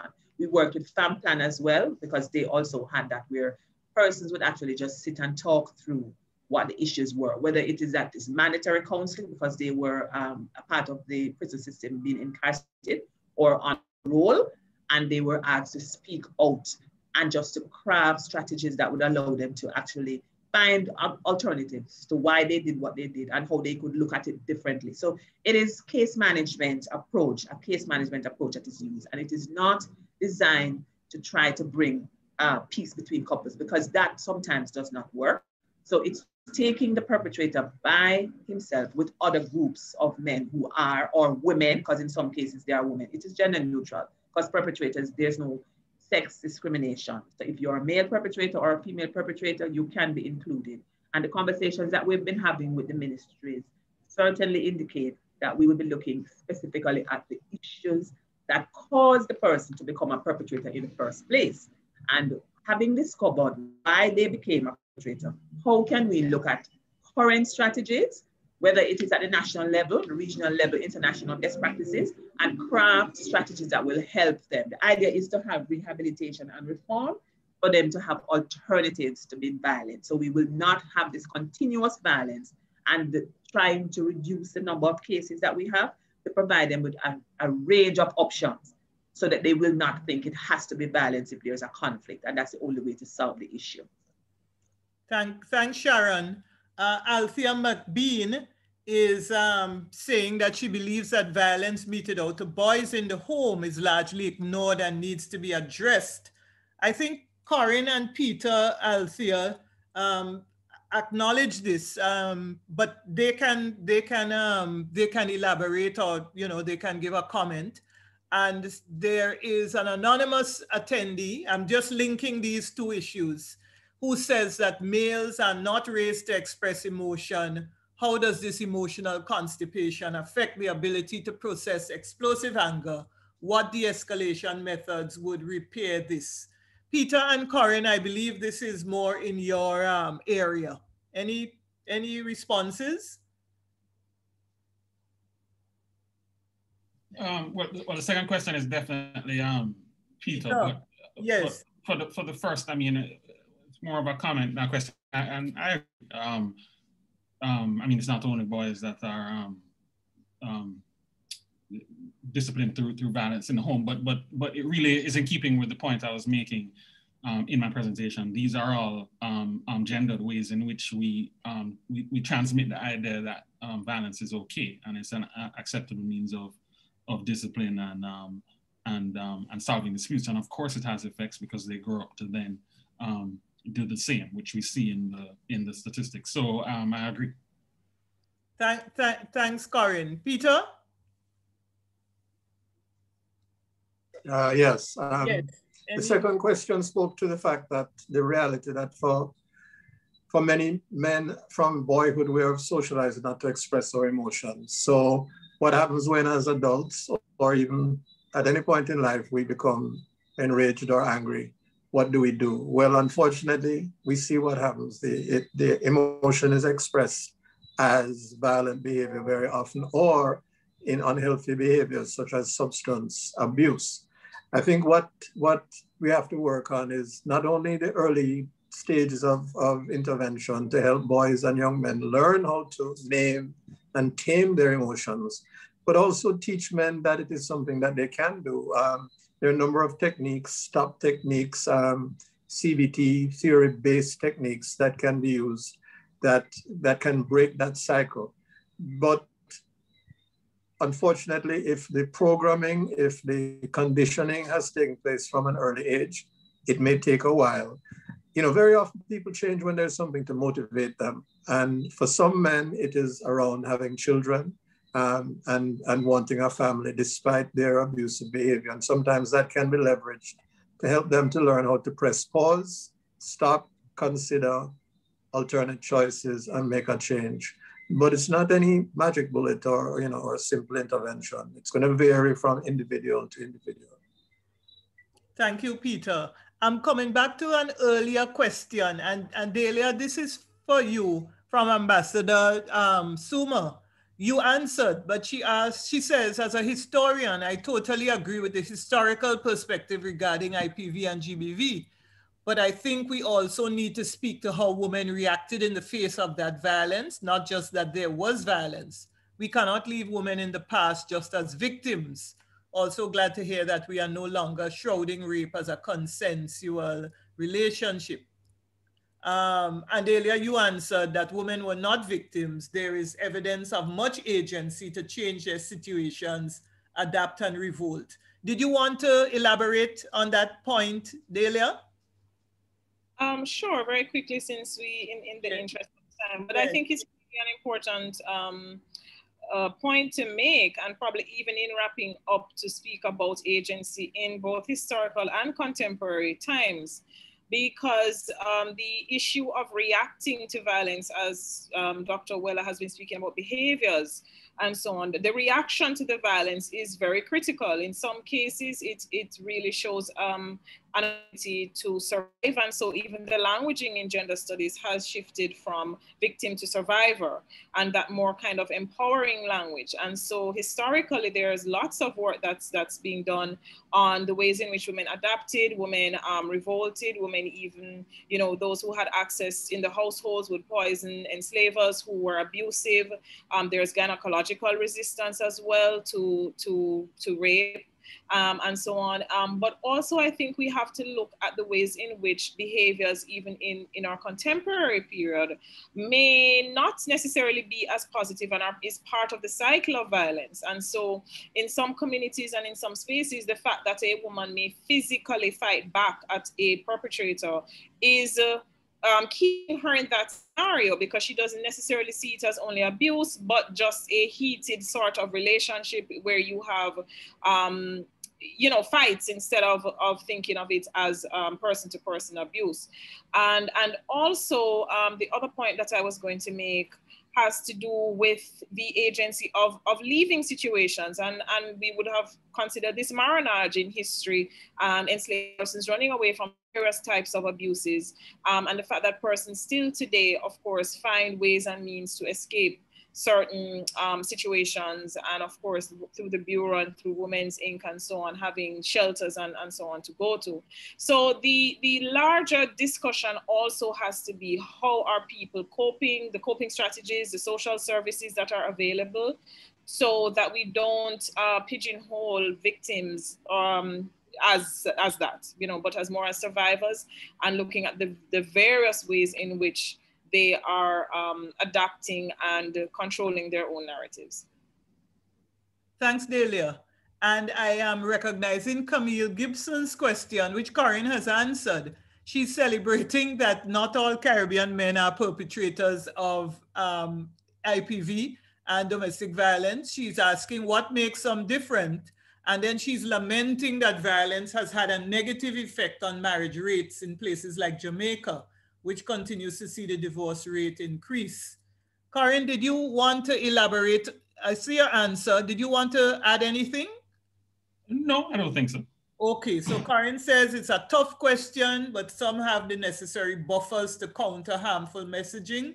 Very true. I think the important thing for us to note is that the messaging creates an atmosphere ripe for violence. Not all will become violent, but many will. And that acknowledging that her question is critical for intervention. Okay, um, let me just make sure that I have answered all questions.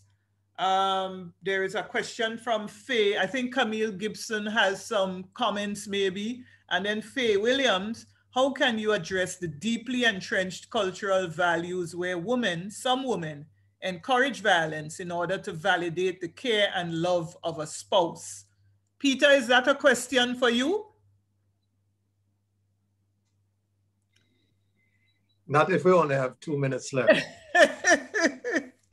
Peter, um, I, it, it, yeah. is, it is, it is, you know, when yeah. I began it, this is about and, you know, yes. all of these profiles, all of these behaviors coexist. Yes. When we choose to ignore certain profiles and dynamics because it doesn't fit with an agenda, we do a disservice to the social change process. So there are women who don't like to be hit. There are women who hit. There are women who think that being hit is love, just like there are men who are diverse. And I think that it's it's it's an ongoing conversation we need to have, but we can't have forbidden topics and taboo topics because they don't fit with, you know, um, a personal agenda or whatever. So all of us need help. And as Corin said, and I think a key point here is that I, as a man, will have gotten the patriarchal programming I will have also had other programming and other training with my family, etc. At a given time, one will override the other. Sometimes I succumb to some patriarchal beliefs, and sometimes I'm able to challenge them and move beyond them. I grow and I learn. The more we can do as a society to help people to continue to evolve while acknowledging that their past, their history is still present and may still affect them, the more likely we are to facilitate change. So it's a process of and. A lot to consider, creating spaces where we can consider all these different issues and keeping our minds open to looking for the best way forward. And I'll close with that comment. Okay, so that was your closing comment, Peter? Yeah, yes, ma'am. Okay, yes, because I was about to, to ask um, all of you to, in, in no more than a minute, make your closing um, statement you know so Dalea is there what is that one takeaway that you want us to um to to take away and similarly Corin and sharon peter if you can think of anything else while they are you just come right back. But i i mean before you do that i just want to thank you all again for what i think has been a very rich um, um, uh, uh, panel discussion today. A lot of issues raised. We've recognized the complexity of this issue and the tremendous amount of work that we all have to do to, um, to, to, to, to eliminate or to reduce, to eradicate intimate partner violence. I mean, uh, Peter, you have talked about the importance of research. Uh, I mean, I was just, you know, um, noting the collaborations, the coordination needed, you know, the, and, and not just providing research, but as you say, also having the persons who use the research in conversation with the researchers who give the, you know, provide the data and so on. That collaboration, I think, is weak up to this point, and we absolutely need to strengthen to strengthen. So let me not take away. Dalea, please, you have your one minute, then oh. Carl, then Sharon, and Peter, if you have a 30 second, please feel free to do so. I was going to say, um, Dr. Weller's closing remark um, is quite apt. I don't need a whole minute. Um, just to say that in the same way I ended my own presentation, these are not private matters, and it's, it's wonderful that these public conversations and public engagement um, are happening more and more so that we can actually get to the various roots and uproot there in order for lasting behavioral change. Thank you, Dalea. Yeah, I, I mean, I'd just like to hammer home my point that um, I think that we, I, I, just want, I would like us to, to encourage us to, to keep um, work more on, on these issues in very, in um, multidisciplinary ways. Because I think we have a tendency to, um, to address um, this problem more than most, I think, um, uh, within our disciplines, you know, the, the um, criminologists attacking it in one way, the gender specialists in another, the psychologists in another. and it doesn't seem to um, we don't seem to be bringing about um, a, a, reduction. Um, I just think I'd like to encourage more um, multidisciplinary um, approaches to the um, to the study and, and intervention-based work as it relates to intimate partner violence. Well, all kinds of violence, to be yeah. honest. That's a really very important point, you know, the interdisciplinary, multidisciplinary work needed. Thank you. Sharon? So first of all, I want to say that the recognition of this issue is very important.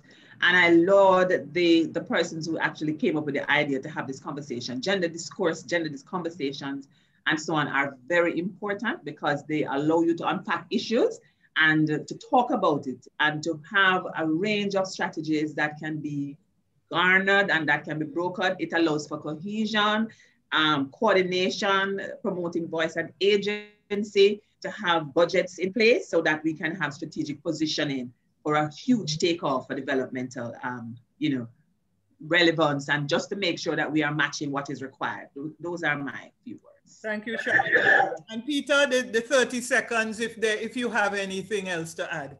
There's a there's an acronym called VUCA, vulnerable, uncertain, complex, and ambiguous. Those are the times we live in. We're vulnerable, it's uncertain, it's complex and ambiguous, and if we don't get our acts together, we are going to be pushing against uh, a series of problems that um, will be insurmountable. So thanks again for having us all together. And I hope these conversations can continue um, as they are so well needed. Thank you all. Thank you very much, um, panelists. I mean, I'm giving you a clap from my, from my host, you know, thanking you uh, there's so many persons who have said it's been an excellent webinar and are thanking you all for sharing so much. Um, D Chambers is saying, well done. Richard from SALISES is telling us that the recording will be available on the SALISES Mona YouTube channel. And he, he gives us the link and he says to subscribe to the YouTube, YouTube channel. All SALISES webinars are uploaded to that. Um, Cheryl Morris Francis is saying, rich information, thank you. So colleagues, thank you. Audience, thank you very much. There, there how many of you? 46 of you who have remained. So our numbers are down to 53, but we went all the way up to 87, I believe, or 88. So we thank you for staying the course, for, um, for, for uh, attending what is, as Peter and Corin and Dalea and Sharon have said, a very complex issue worthy of a lot of discussion and collaborative work. And of the researchers and the practitioners and the legislators working together. You know, Peter, as you spoke, I thought of that concept of join up government, joined up where the, all those boundaries and barriers have to be dismantled. And we have to be able to, you know, talk um, with each other, you know. So thank you again. Um, colleagues, this was an excellent, I think, uh, evening, an evening well spent, and we close off at this time. Thank you very much. Good night and goodbye. Thank you so much, Heather. Thank you. All right, thanks everyone. Thank you. Thank you. My pleasure.